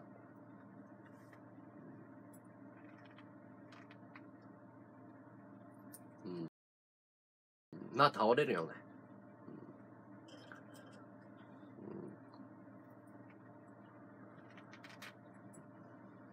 まあ、だからまあ、プライド持ってやってるよ。うん。プライド持ってやってる。そう。社会不適合者だよ。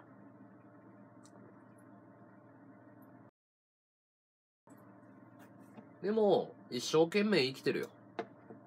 必死に。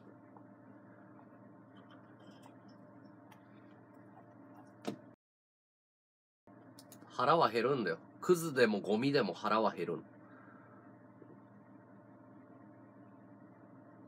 俺、働くことは悪いことじゃないと思ってるから。配信で稼げるっていうか、配信で生かされてるからね。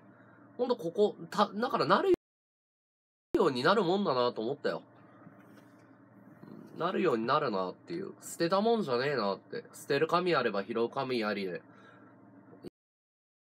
みんなが生かしてくれてんだよ、ここにいるみんなが。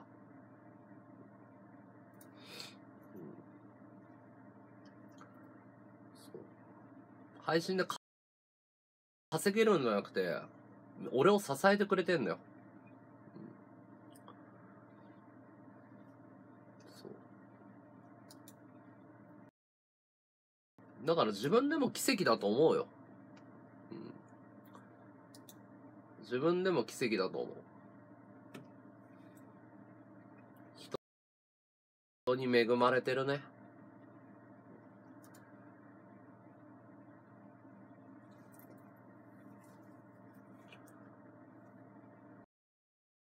だから俺に働けっていう人はいるけど、俺を雇いたいっていう人はなかなかいない。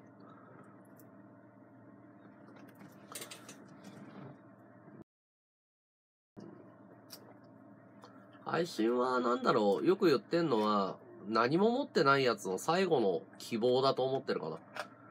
何も持ってないやつが最後、最後の最後、暴れられる場所っていうか。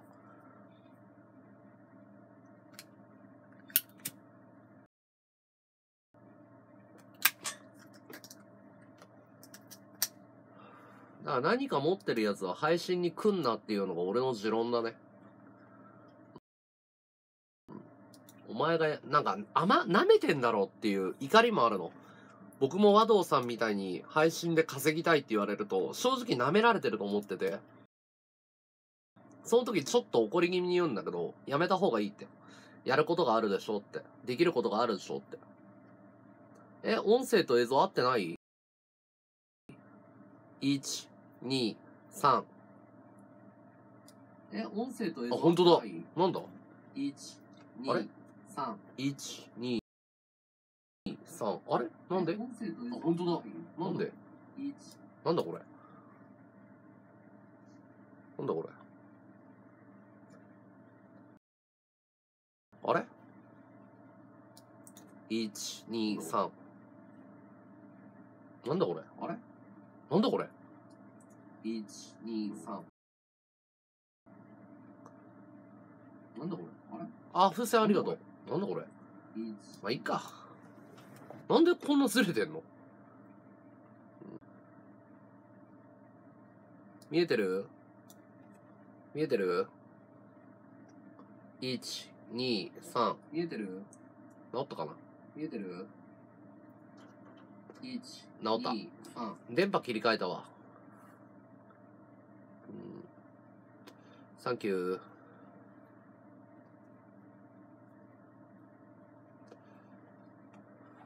タイマー。うん。オッケ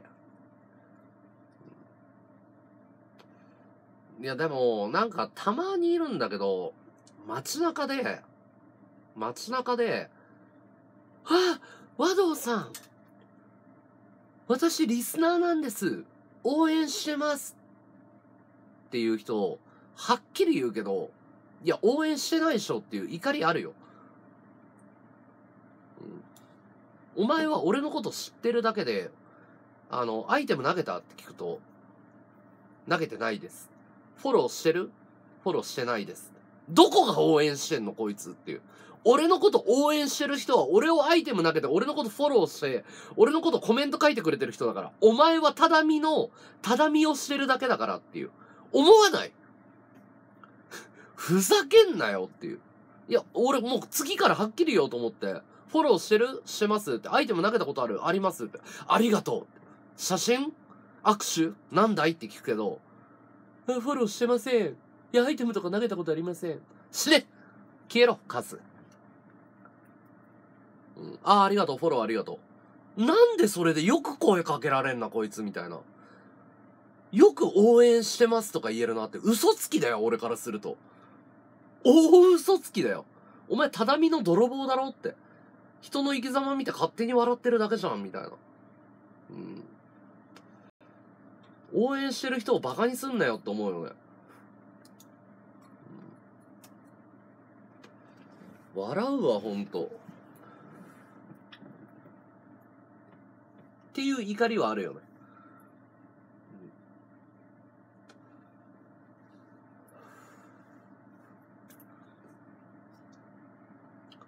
いや、挨拶とかいらないから、俺。挨拶とか全然いらないから。うん、いらない、いらない。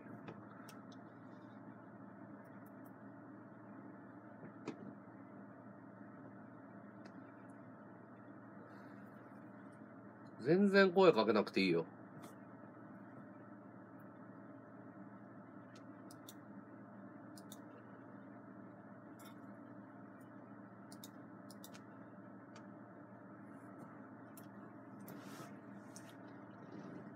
2ヶ月、ふわっちって2ヶ月目の和道さんに初めて会った時、和道さん知らなかった。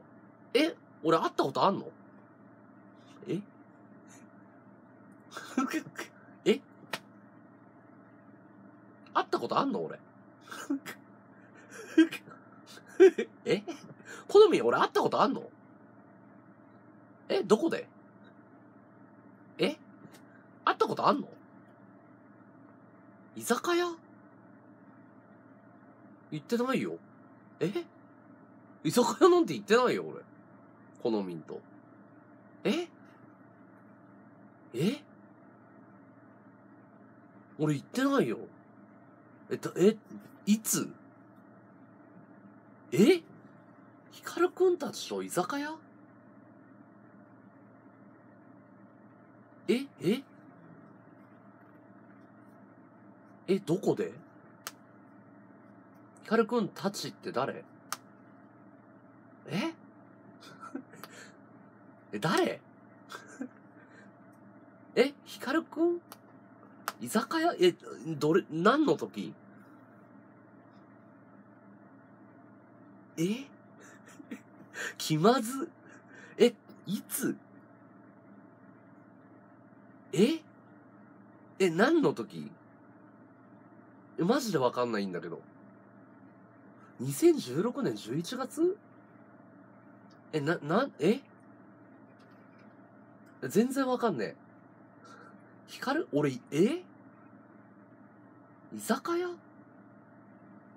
歌舞伎町の居酒屋？え、ど、な、何？え、何の時？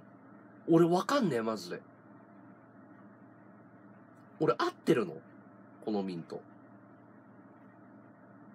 え、え、何？え？え？何？居酒屋なんか行ったっけ？俺。え？何の居酒屋？何の回マジでわかんねえ。俺じゃなくない？え？え、何の、な、2016年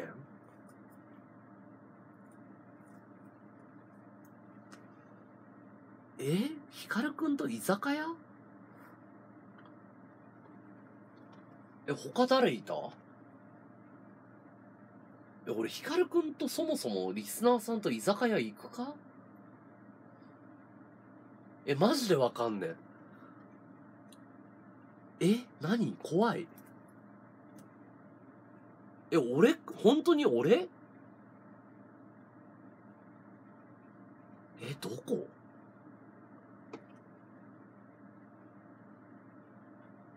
え、な、な、なんでコメントが止まるの？わかった。マジか。わかった。マジか。好みんだったの。マジか。おい、わかったわかった。わかった。あ、マジか。失礼しました。言ったわ。あれ、好みんだったんだ。あ、えー、オッケーオッケーオッケー。オッケーオッケー。言ったわ、言ったわ。わかった。わかったわかった。わかったわかった。あれ、好みんだったんだ。繋がった。よかったよかった。うん。あ、わかんなかった。あ、いたわ。繋がった繋がった。綺麗な人いた、一人。うん。いたいた。わかった。うん。わかったわかった。もう、もう繋がった。ごめん、言ったわ。でも俺、あの時会話ほと、ほぼしてなかったから、好みんだっていう認識がなかったのよ。リスナーさんが誰かいるっていう状態だったから。あ繋がった繋がった。言ってる言ってる。うん。あ、あれ、好みんだったんだ。知らなかったわ。うん、失礼。ちゃんと言ってる。合ってるわ。合ってるけど、俺がこ、あの人が好みっていう認識がないから。じゃ、合ってるんだ。合ってるんだ。やっと繋がった。繋がった、繋がった。合ってます。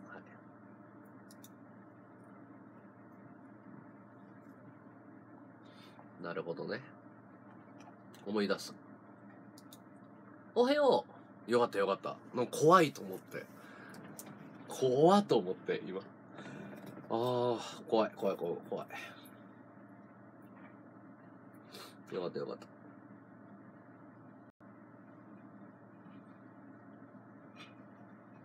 うん。あ、そうだったんだ。うん。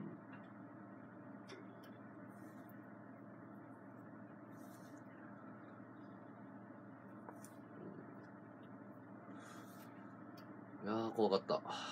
びっくりした。う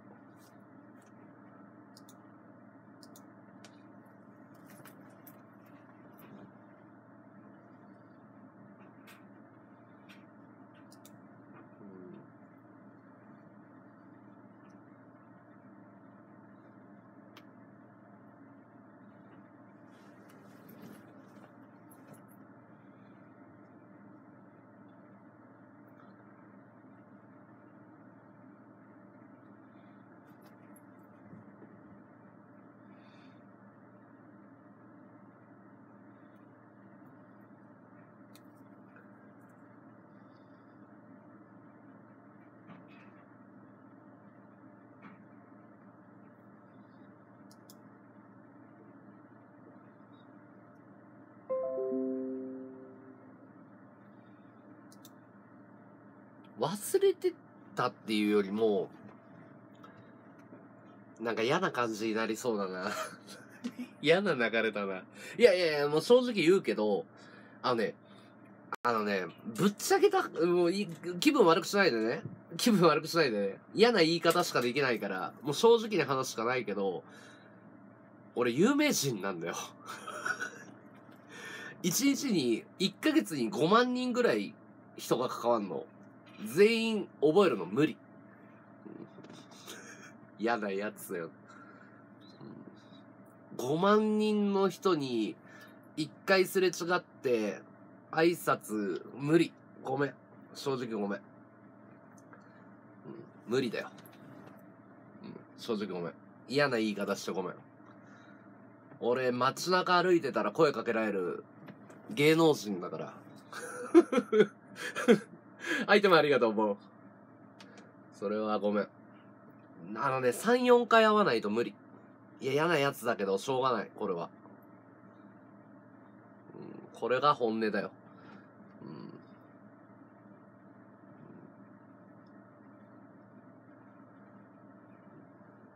じゃあさ、例えばさ、うん、5万人ってどれくらい？上場企業の会社の全員の顔と全員の名前覚えてる社長がいるかって、プライドじゃないって、だから嫌だったんだよ。だから嫌だったんだよ。プライドじゃなくて事実を言っても、なんかそういう風に言われるから嫌だったんだよ。あのね、5万人ぐらいでしょ？上場企業とかって。全員の社員の顔と全員の名前とみんなが何やってきたか覚えるのは無理だよ。うん、学校の全校生徒で何人ぐらい ?600 人とかでしょそれの全部の名前全員の顔覚えてるかってさ無理でしょで、一回会ったことありますって言われても、誰だよっていう。まあだからこういうのが良くないんだろうな。ああ、そうなんだっていうのは、ね、あ、そうなんだ、あったよねって言わないとダメなんだよ。で、要はね、俺ね、大物芸能人に会うと、そういう場面を見て、あーって適当に言うのよ。あー、いつもありがとねって。俺ね、芸能人と飯食ったことあるんだけど、声かけたら、あー、いつも来てくれてありがとうって初めて会ったのに言われたの。でも、それがプロなんだよ。あー、いつもありがとうってまた来てくれたんだっていうの。ププロの、それで飯食ってる人は。だから俺もそうならないといけないんだよ。うん。要は全員に対していつもありがとねって。いや、初めて会ったけどっていう。それがプロなんだよ。要は気分を害させないっていうか、こう言ったらダメなんだ、本当の。本当のことは言わなくていい。よく捉えてよく言ったら、結局悪い思いしなかったらネタになるじゃん。うん、そこだよな。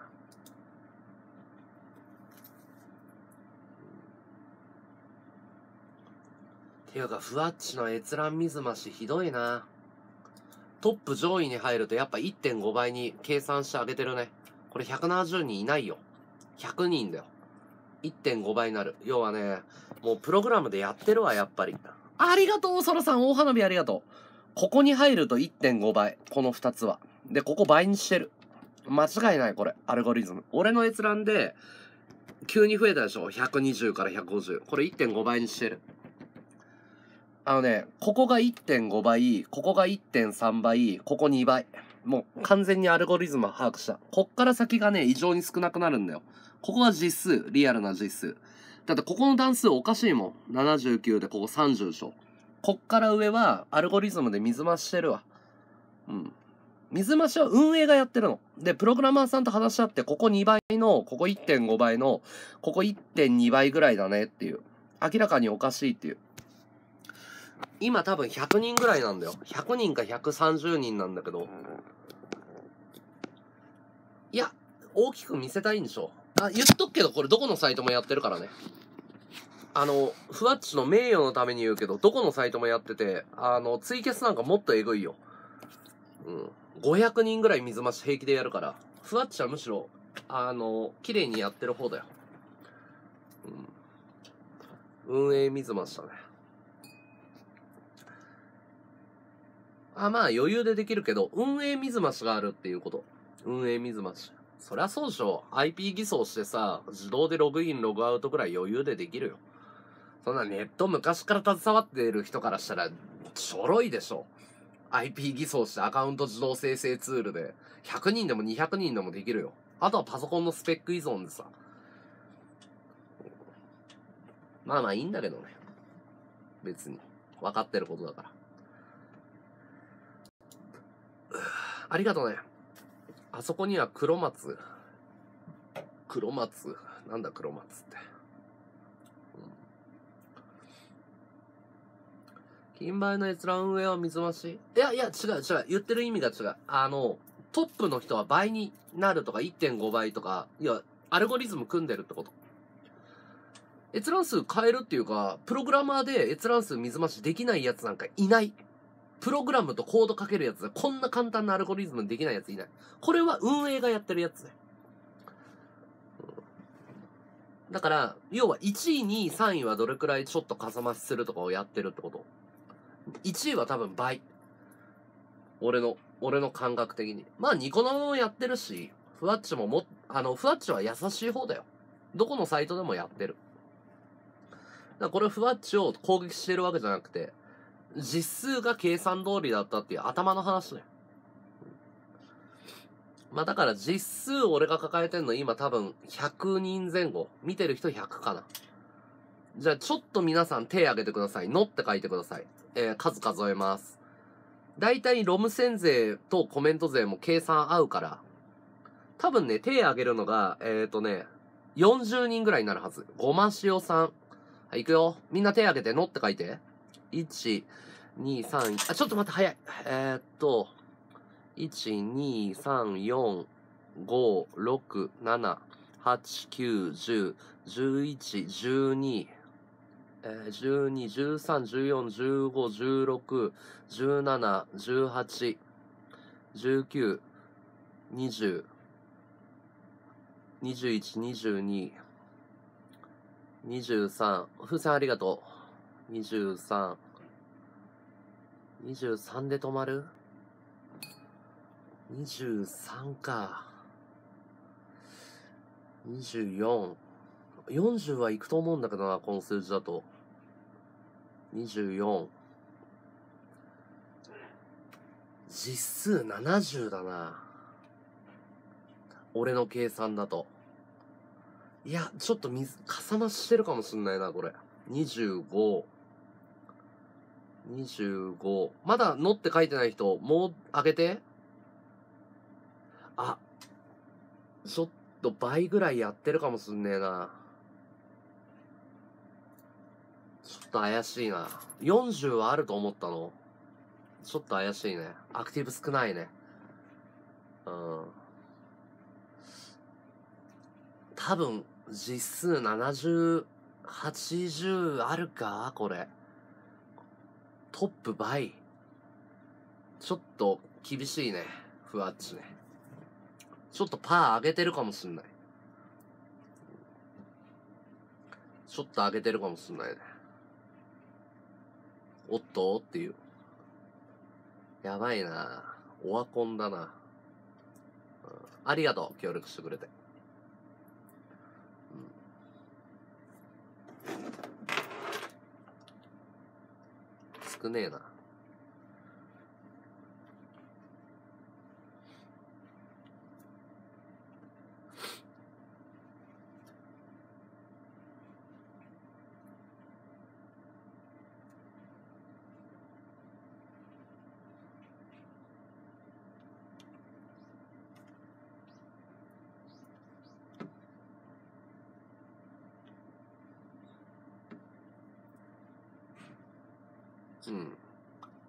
まあ実際本当のロム勢もいるから、本当のロム勢もいるから、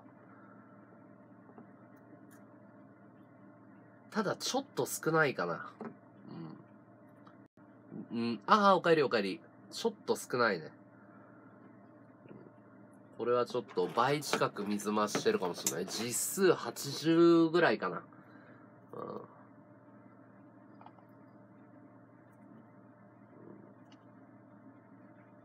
うんとね、あの、なんだろう。運営が水増しどれくらいやってるか問題。だからね、閲覧数なんかいくらでもごまかせるからね。うん。いや、60人はないかな。80はいる。うん。80はいるね。うん。多分なんだけど、便所太郎さんがロムってるはずなんだよね。石川紀之さんと便所太郎さんがロロムってるから。塾長っていうかね、スタップくんはね、一回俺に花火投げてくれたけど、スタップくんをボロボロにディスっちゃって、俺が知らなくて、スタップくんが花火師だっていうのを知らなくて、てめえ二度と来んなゴミ野郎とか言って、あの、なんだろう。そっから来なくなっちゃったね。もう知らなくて、なんか、すげえ怒鳴っちゃったんだよ、スタッフ君に。塾長が俺んとこ来ないんじゃないの？で、次の日言われたの、狐枠で。和道お前かっけえな、みたいな。本当お前花火師にこびないんだなって言われて、何の話？って言ったら、え、お前知らねえの？みたいな。スタッフ君ってよっさんをナンバーワンにした超大物花火師だよ。つって、え？って言って。月2、300投げる花火師に、お前かっけえわって言われて、え？みたいな。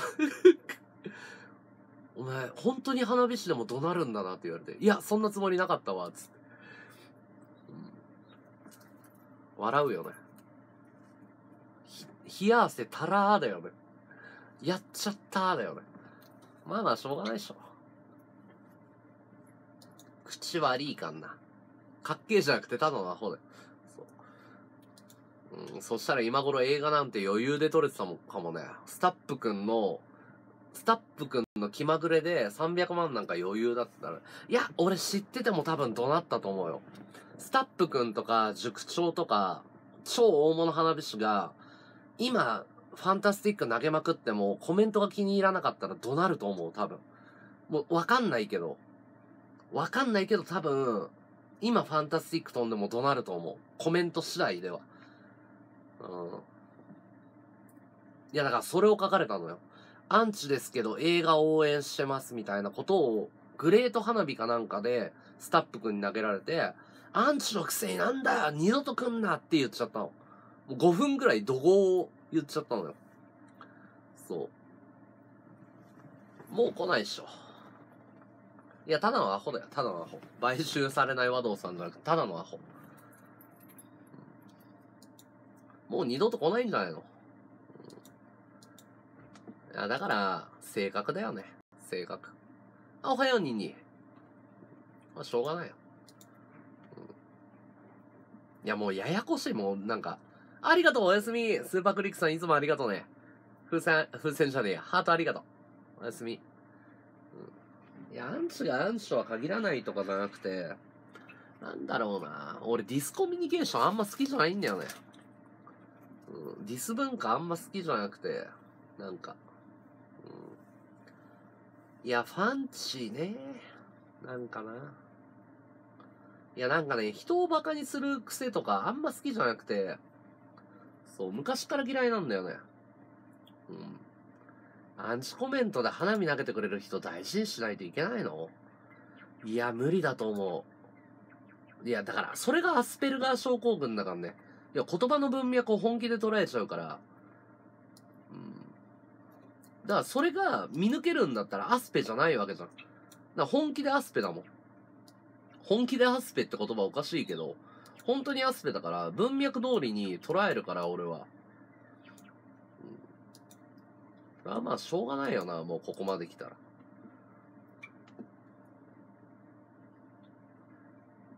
だからその、う、う、言葉の裏みたいなのがよく理解できないんだよね。うん。うん。言葉の裏みたいな。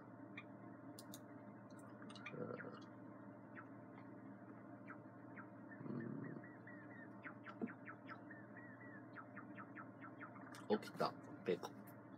ペコ、おはよう。ペコ、おはよう。うん、おはよう。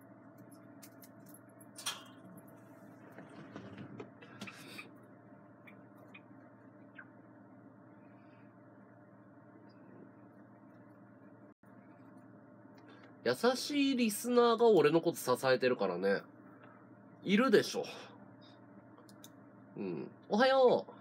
カラシアさんおはよう。いるよ。うん。俺のこと食わせてる人は優しいでしょ。どう考えても。奇跡だよ、奇跡。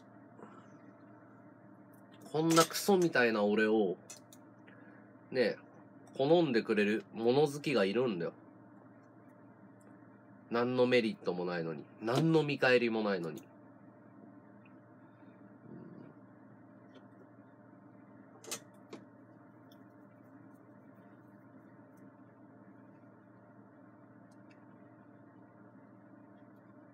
もうだからあんまりそのリスナーさん個人個人のことは考えないようにしてるかな、正直言うと。あの、個人個人のことを考えてたら頭おかしくなるよね、やっぱ。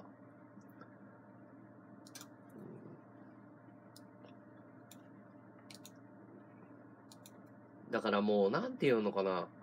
そこに人がいるんだっていう風な感覚ではできないっていうのが正直な感想かな。人間だと思ってやってたらやってらんないよね。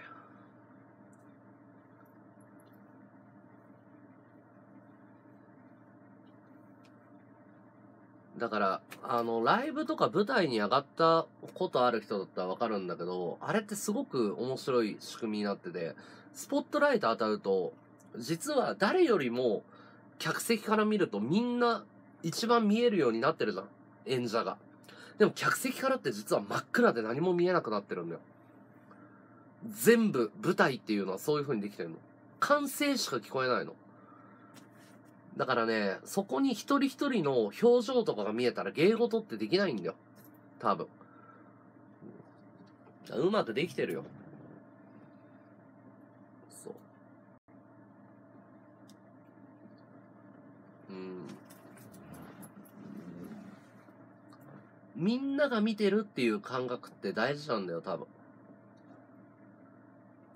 雰囲気みたいなものにしないと。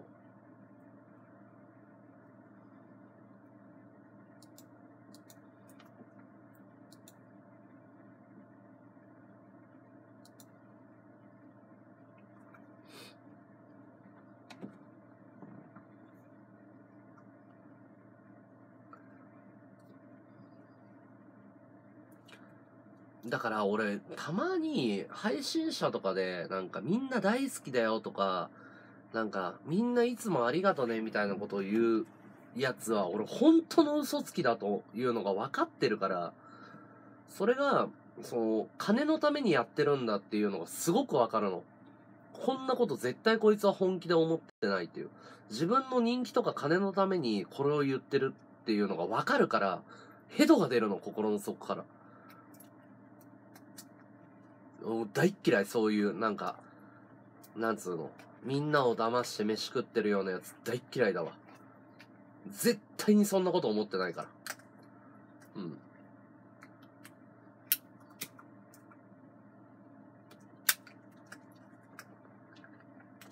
嘘つきだよ、嘘つき。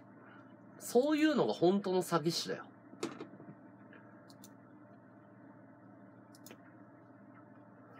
あ、まあ、そうだね。男はあんまりそういうタイプいないかもね。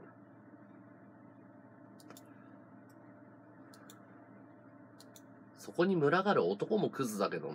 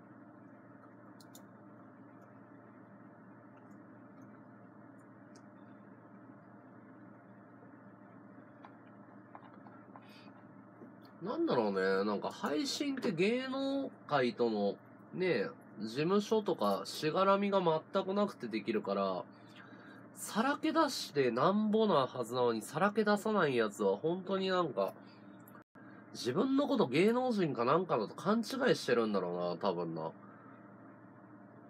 素人だから面白い。素人だからこそ、なんだろう。言いたいことが言えるし、言いたいこと言うためにやってんのになっていう。最大の武器を捨ててさ、芸能人みたいに振る舞ってるやつ見ると、頭悪いんじゃねえかな、みたいな。うん。ああ、いやいや、それが正解でしょ。うん。それが正解でしょ。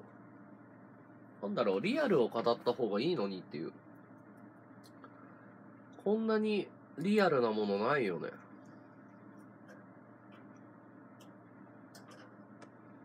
包み隠さず全部さらけ出しちゃいいんだよね。喜びも苦しみも悲しみも全部。だから作ってるやつほど引退しちゃうよね、やっぱ。あの、キャラクター作って嘘ついてるやつほどストレス溜めてるし、そういうやつほどいなくなっていったかな。引退しない長くやつ、長くやるやつさらけ出してるもんね。くずっぷりが半端じゃない。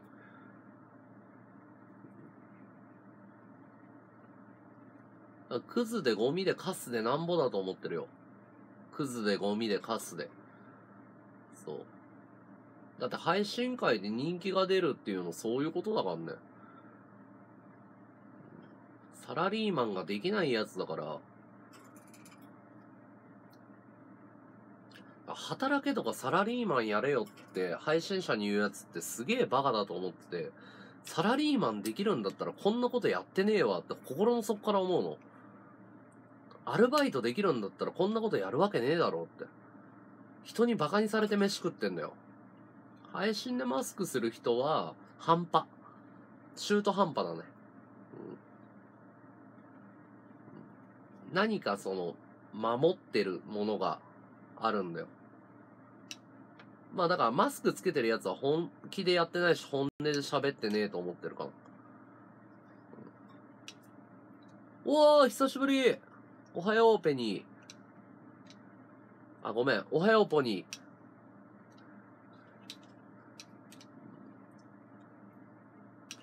マスクつけてるやつで大手になるやつなんかいないでしょまあ、ノエルぐらい。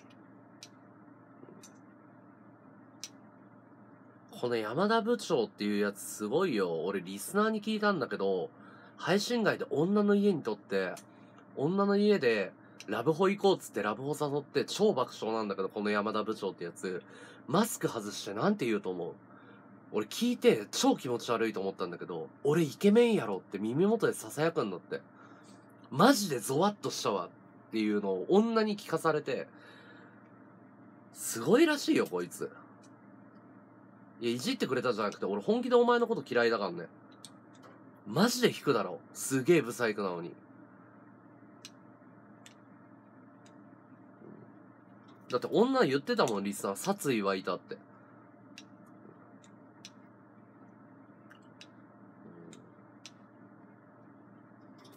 いや、だから何にも持ってないやつの武器だと思ってるから。いや、俺はお前のこと嫌いだから。うん、っていうかさ、ペニーさんさ、映画のスポンサーになってくんね。ペニーさん、これマジの相談。いや、ダメだったら嫌だったら嫌だってはっきりもう今すぐ断ってほしいんだけど、一口10万乗っかってくんね、ペニーさん、マジで。もうマジで苦しい。ペニーさん、映画のエンドロールにペニーって乗せてくんない？マジかよ。なんだよ。マジかよ。なんだ。もういい、もう言わない。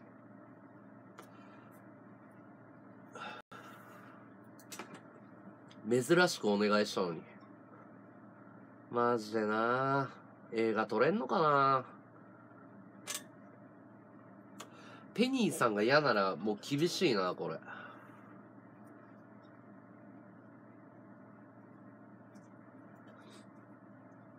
ペニーさん金持ちだよ。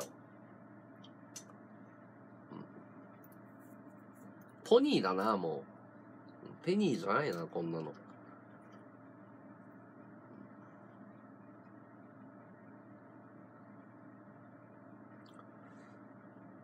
いやー、マジできつい。本当に。誰か支援して。お金持ちの人支援して。マジで。お金持ちの人支援して。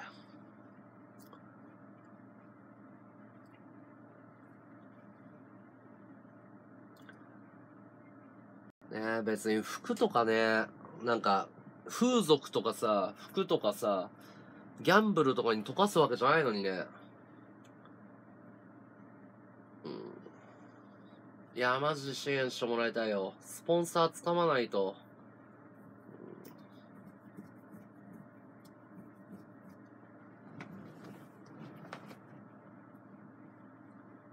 どっかにハイパー金持ちいねえかな。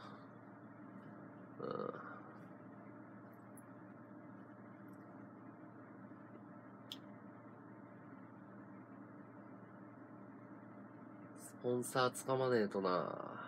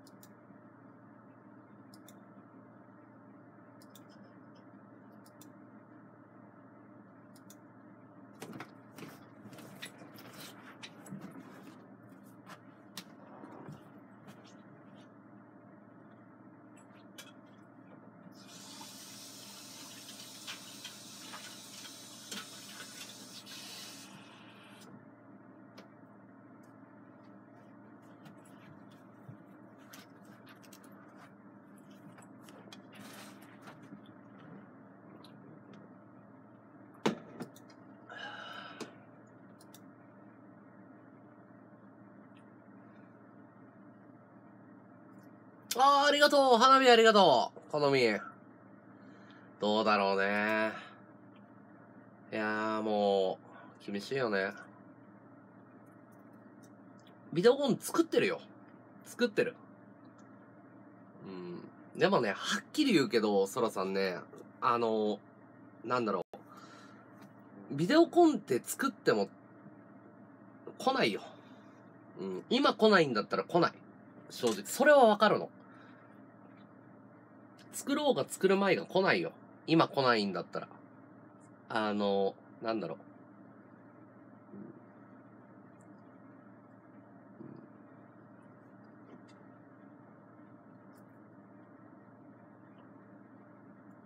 そうだね。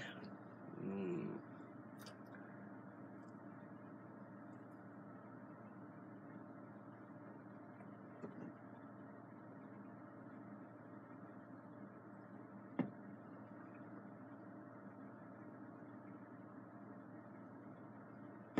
うーん。あのね、もう配信のことをすげえ長くやってるからわかるじゃん。批判が増えるだけ。はっきり言って。うん。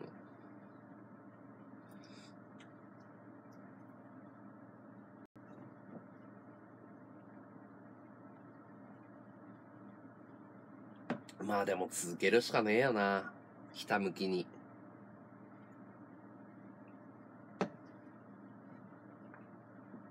もう続けるしかないよ。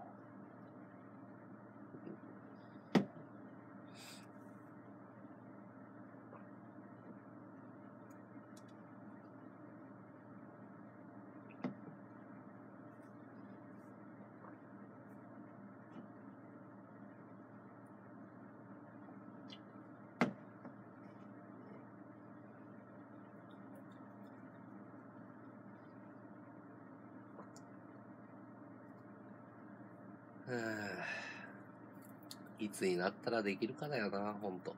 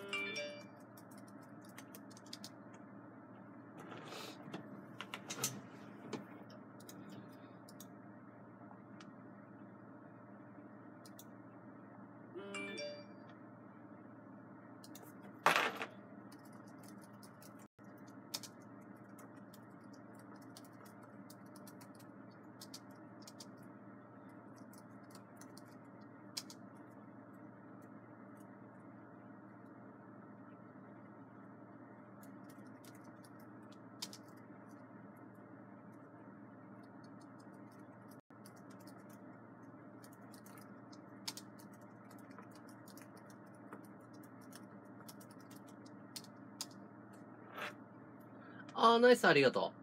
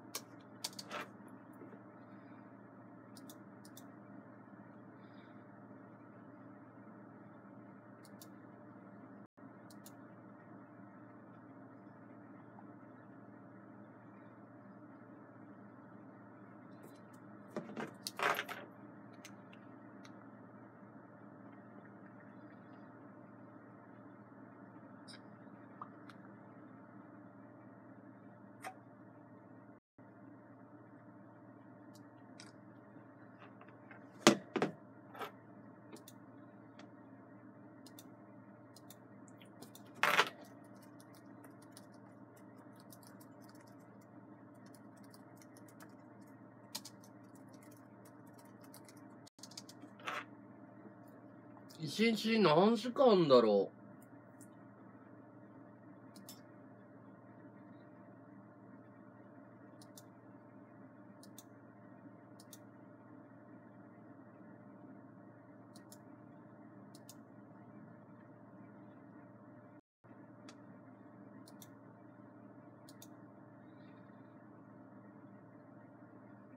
っていうか、ペニーさん超ひどいんだけど。え、最低なんだけど、なんか、配信中になんか、俺のことロムっててめちゃめちゃ笑ってんだけど、ひどくない？なんかすげえショックなんだけど。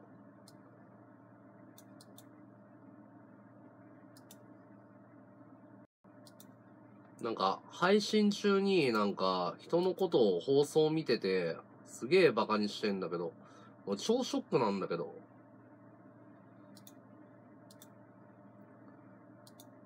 ひどいよね。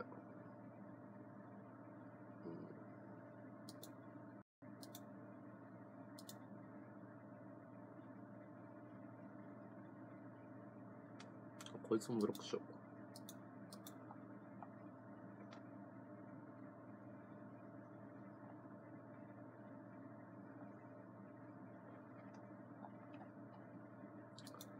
あこういう人だと思わなかったわ。ミラーっつうか、ペニーさん自身も配信してて、今の出資頼めないっすかつって嫌だっていうのも全部見て腹抱えて笑ってんの。すげえ嫌な感じじゃない？なんかそういう人だと思わなかったわ。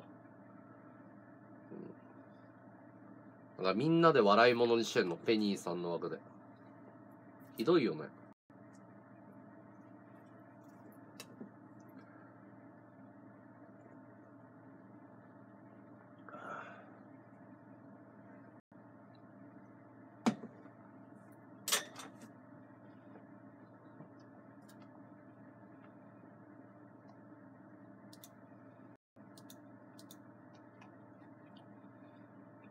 ちょっとさすがにショックだわ。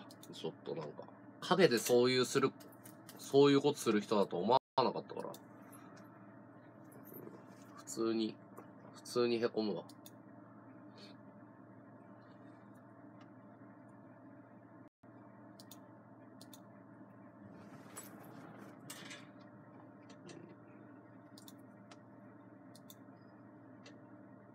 なんか嫌だね。ほら、ガクって減ったでしょ。多分ね、4列目に入って落ちたんだよ。閲覧ガクって減ったでしょ。多分3段目に、ほらほら。ね。閲覧50以上ガクって減ったでしょ。こっちになってからでしょ。で、今、ガクって増えたでしょ。行くよ。絶対にこれ増えるから行くよ。あれ？こっちになってこれ、ほら、114になったでしょ。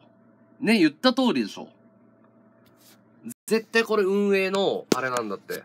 2、30の増減だから朝だから分かりやすいんだよ。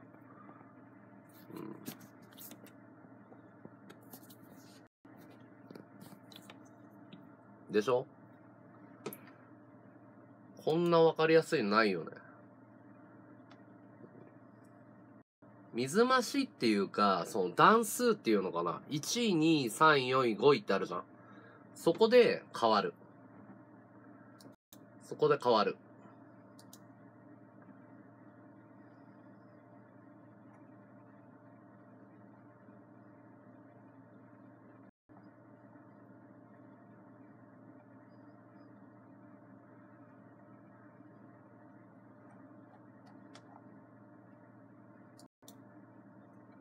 ありがとう。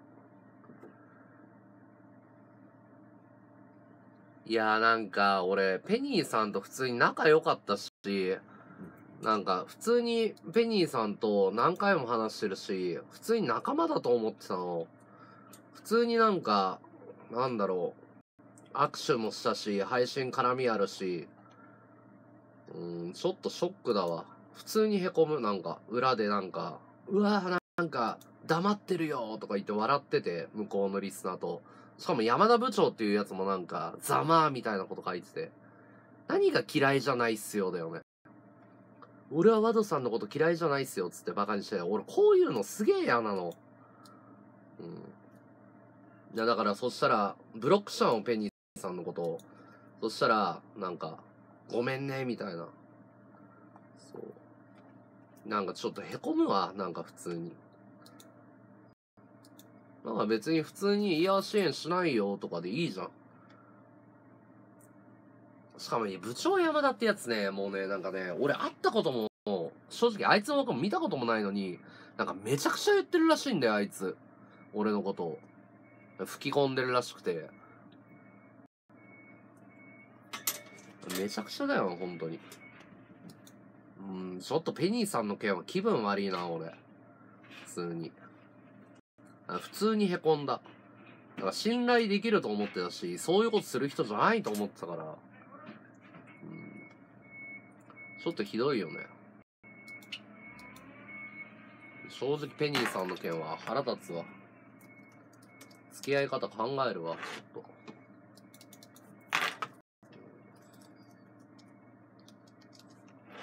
付き合い長いのにへこむわ。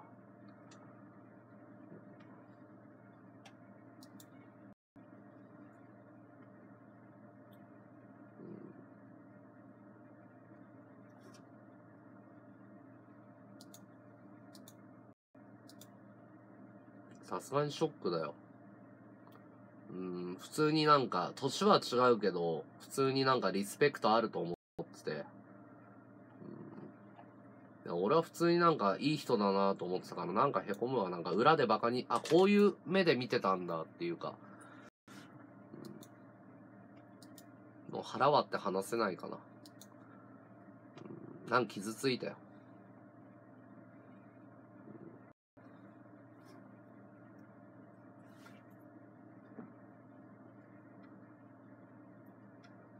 通に傷ついたかな。山田部長とかどうでもいいけど、もともと相手にしたい。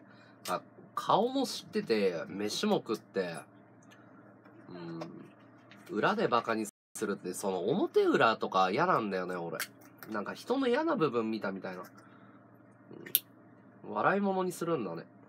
俺、ペニーさんのこと笑い物にしたことなんか一回もないと思うんだけどな。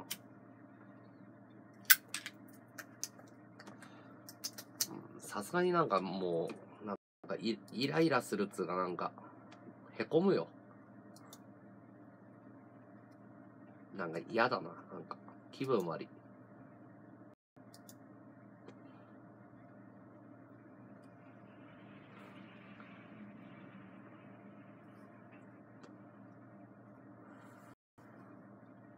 俺なんかペニーさんのこと悪口言ったり陰口叩いたことないんだけどね。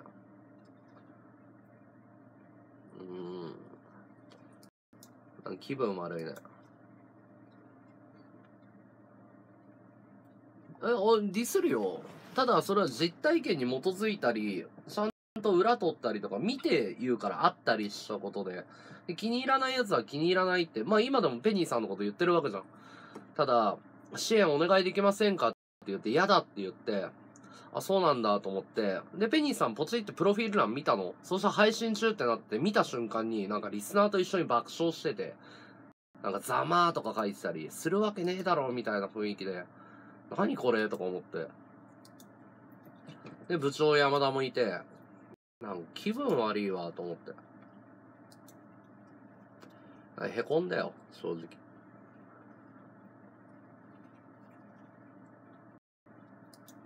胸くそ悪いよね。俺はペニーさんにすげえリスペクトあったけどね。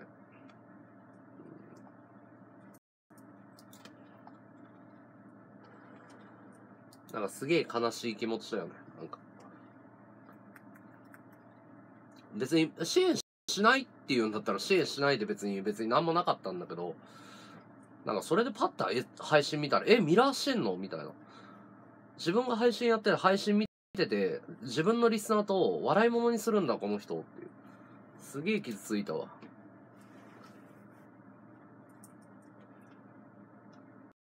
なんか俺したかな？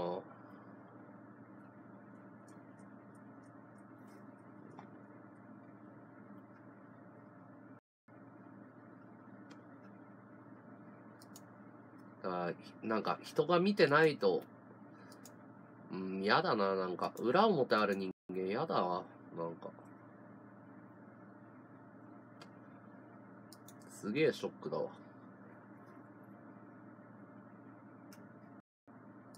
胸くそ悪い。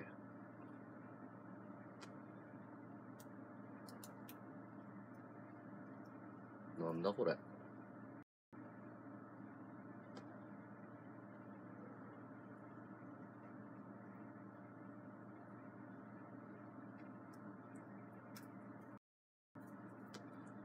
そうなんだ、舞子ちゃん。いや、俺はわかんないけど、それは。なんか、もやもやすんな。なんか、すげえ気分悪い。いや、めちゃめちゃショックだよ、本当に。いや、前向きに、つうかなんか、なんだろう。で学校とか、か職場とかでさ、仲いい、本人の前では仲いいふりしてて、なんかパッて裏行ったら、なんか、何人かで悪口言ってたの見たみたいな陰口で。すげえ凹む、なんか。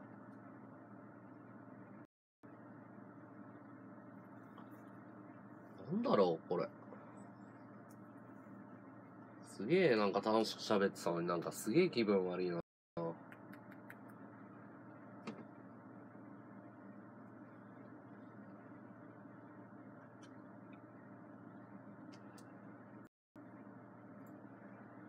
いや別にいろいろ言ってもいいんだけど、なんか、笑い、笑い物にされるようなこと俺したか？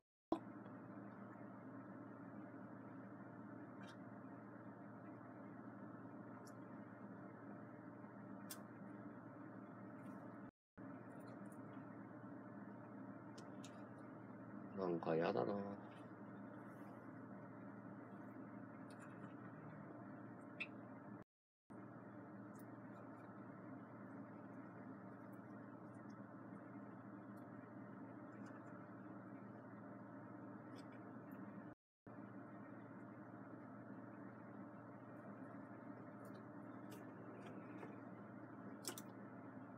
へこむわ、なんか。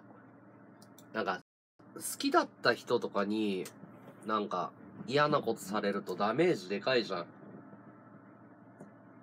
なんかこう、信頼してる、別に、嫌いな人から嫌われるのは別にダメージないんだけど、なんか自分が好意を抱いてたり、自分がリスペクトしてたり、自分が友達だと思ってる人に裏切られた時ダメージでかくない？なんか。いや、だから、所詮人間なんてそんなもんっていう、風になんか割り切れないよね、なんか。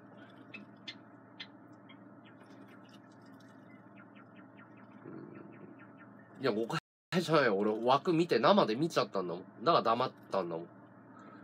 自分のリスナーと笑い物にしてるの見ちゃったんだもん、さっきの枠で。誤解じゃないでしょ。大爆笑してんだよ。こうやって携帯片手に俺の配信見て大爆笑してんだよ。ん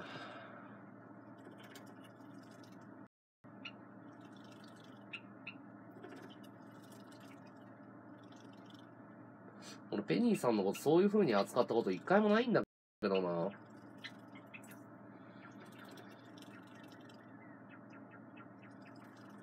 なんかモヤモヤするわ。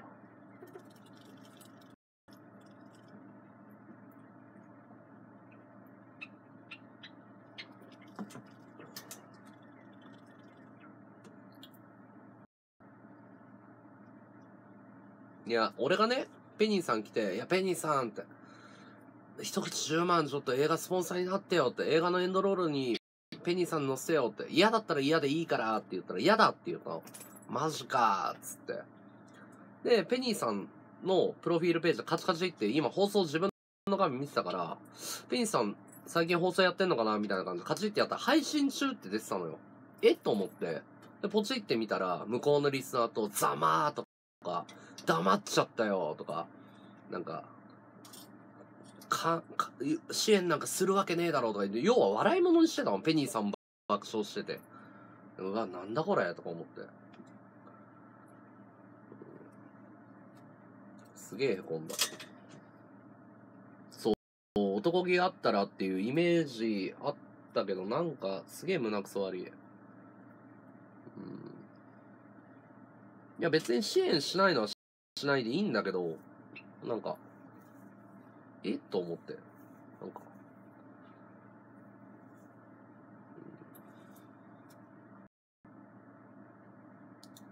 わかんないけど。頼み方が悪かったことじゃなくて、支援するかしないかじゃなくて、それを、なんかミラーし、ミラーつうか、自分の放送中にネタにされたのはやっぱ気分良くないな。まあいいよ。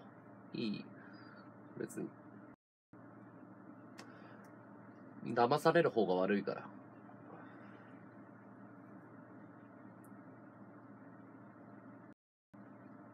俺が勝手に信頼して勝手に裏切られただけだからいい。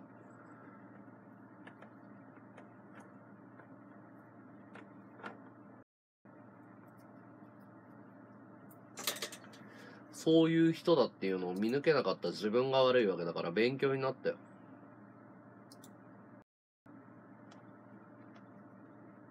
あ俺はそういうことやりたくないけど。いやー、なんか、うーん。忘れた、忘れられんなら忘れたいけどね。なんか。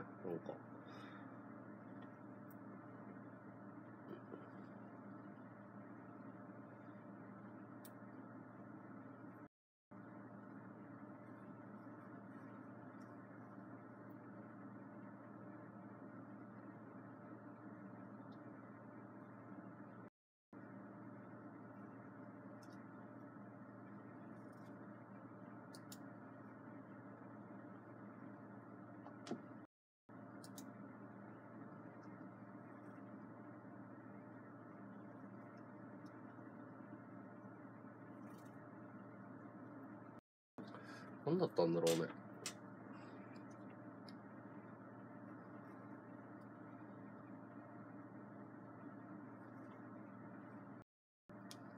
うん。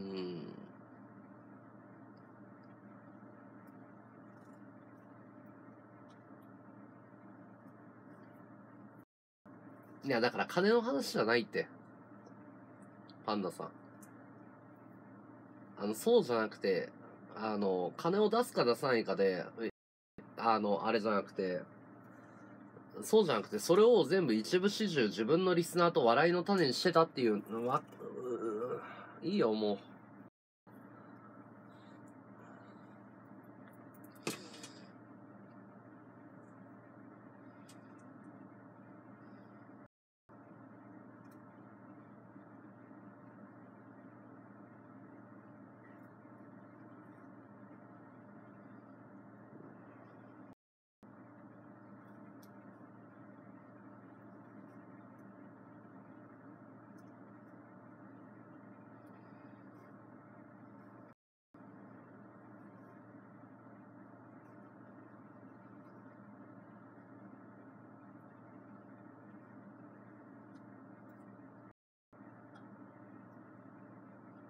まそんなもんだよな。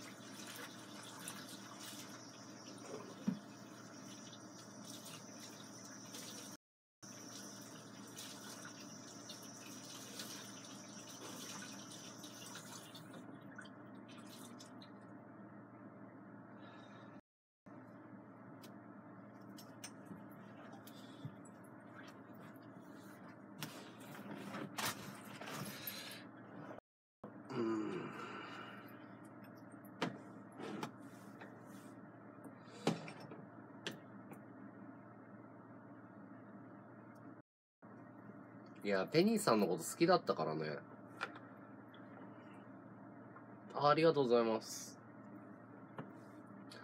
だから、まあさっきも言ったけど、一言で言うと、人間っていうのは、嫌われてる人に嫌われても別にへこまないけど、自分が好意を抱いてたり、自分がリスペクトしてたり、自分が信頼している人に嫌われたり馬鹿にされたりするとへこむんだって。信じてもらいたい人に裏切られるというか、なんつうの、裏切られるっつうか勝手に信頼してただけだからいいんだけど。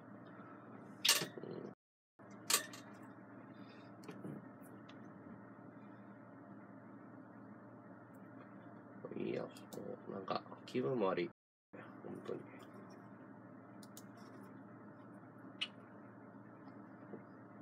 胸くそ悪いな。なんだ、これ。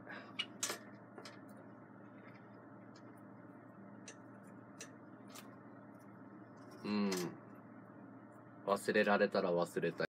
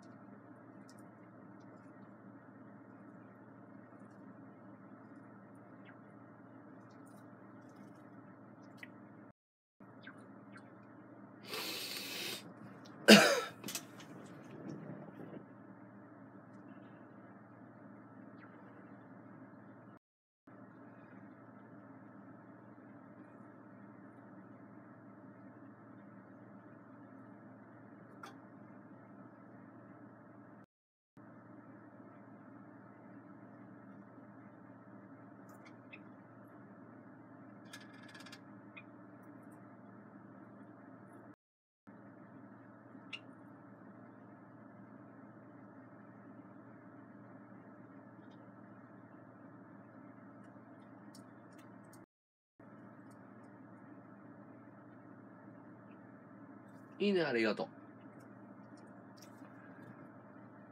バカありがとう。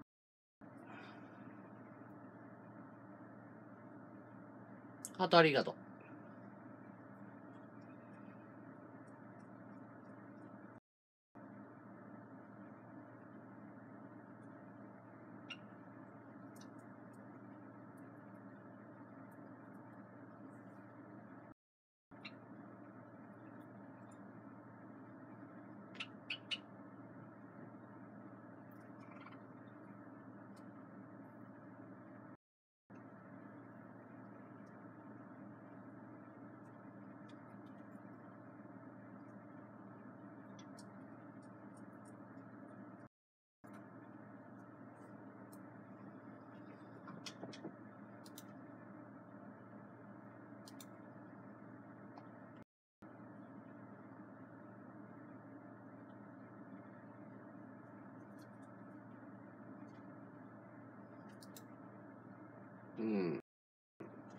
そうね。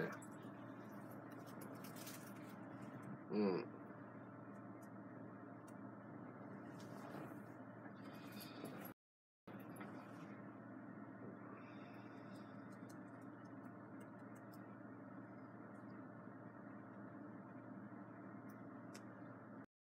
なんか俺、後ろ指刺されるようなことしたかな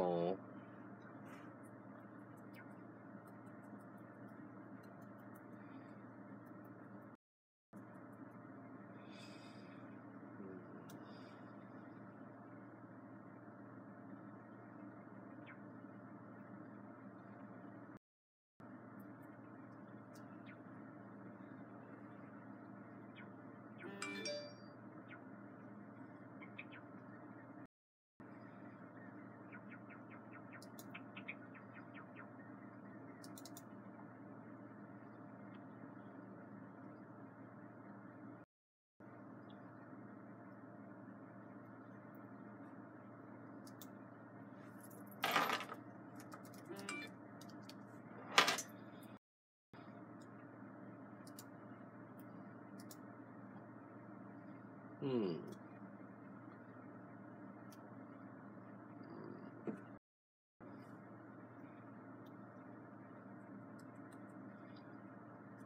そろそろ始めないとね、本当に。今日走るか、寝る前に。そろそろやんないとね、確かに。今日走るか、気分転換に。そうだね、ニンニ、走ろう。走ろう。そうだね。ニンニ、走ろう。今日から走るわ。また応援して。今日何回目だ？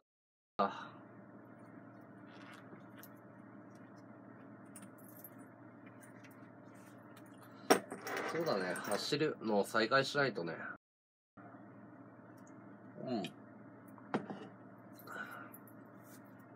うん。うん。はいはい。ちょっとミースケからもらったウェアに着替えるわ。ちょっと待って。多分今日28分無理だろう。相当なまってるぞ、体。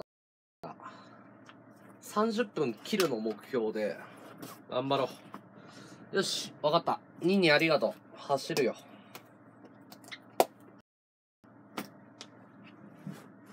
準備する。よいしょ。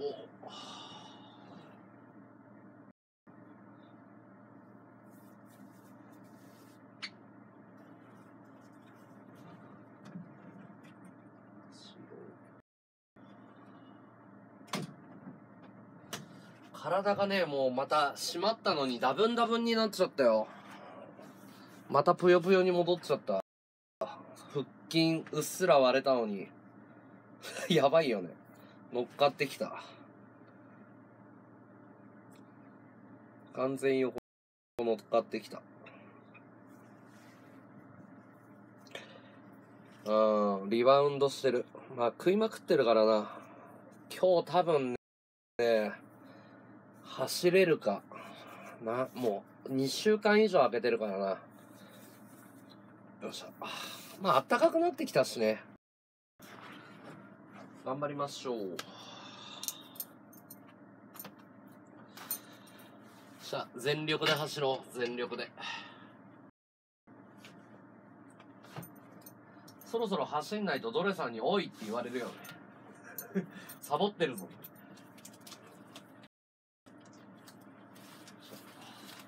頑張りましょう。走ろ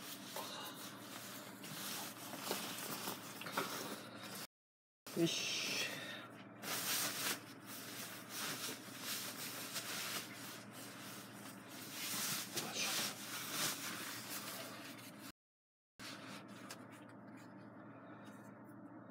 汗を流そう。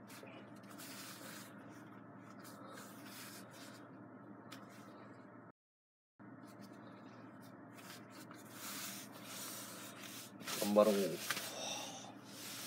w i f i はこれか。W i f i これででバッテリーをこいつか。バッテリーこいつでいけるかな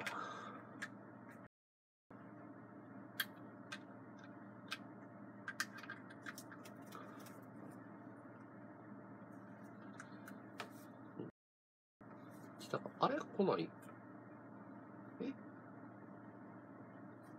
えこうかあ来たかしゃじゃあ今から走るぞ。じゃあ皆さんありがとうございます。一旦枠切ります。次はすぐ開くんで待っててください。お疲れ様です。おつおつ。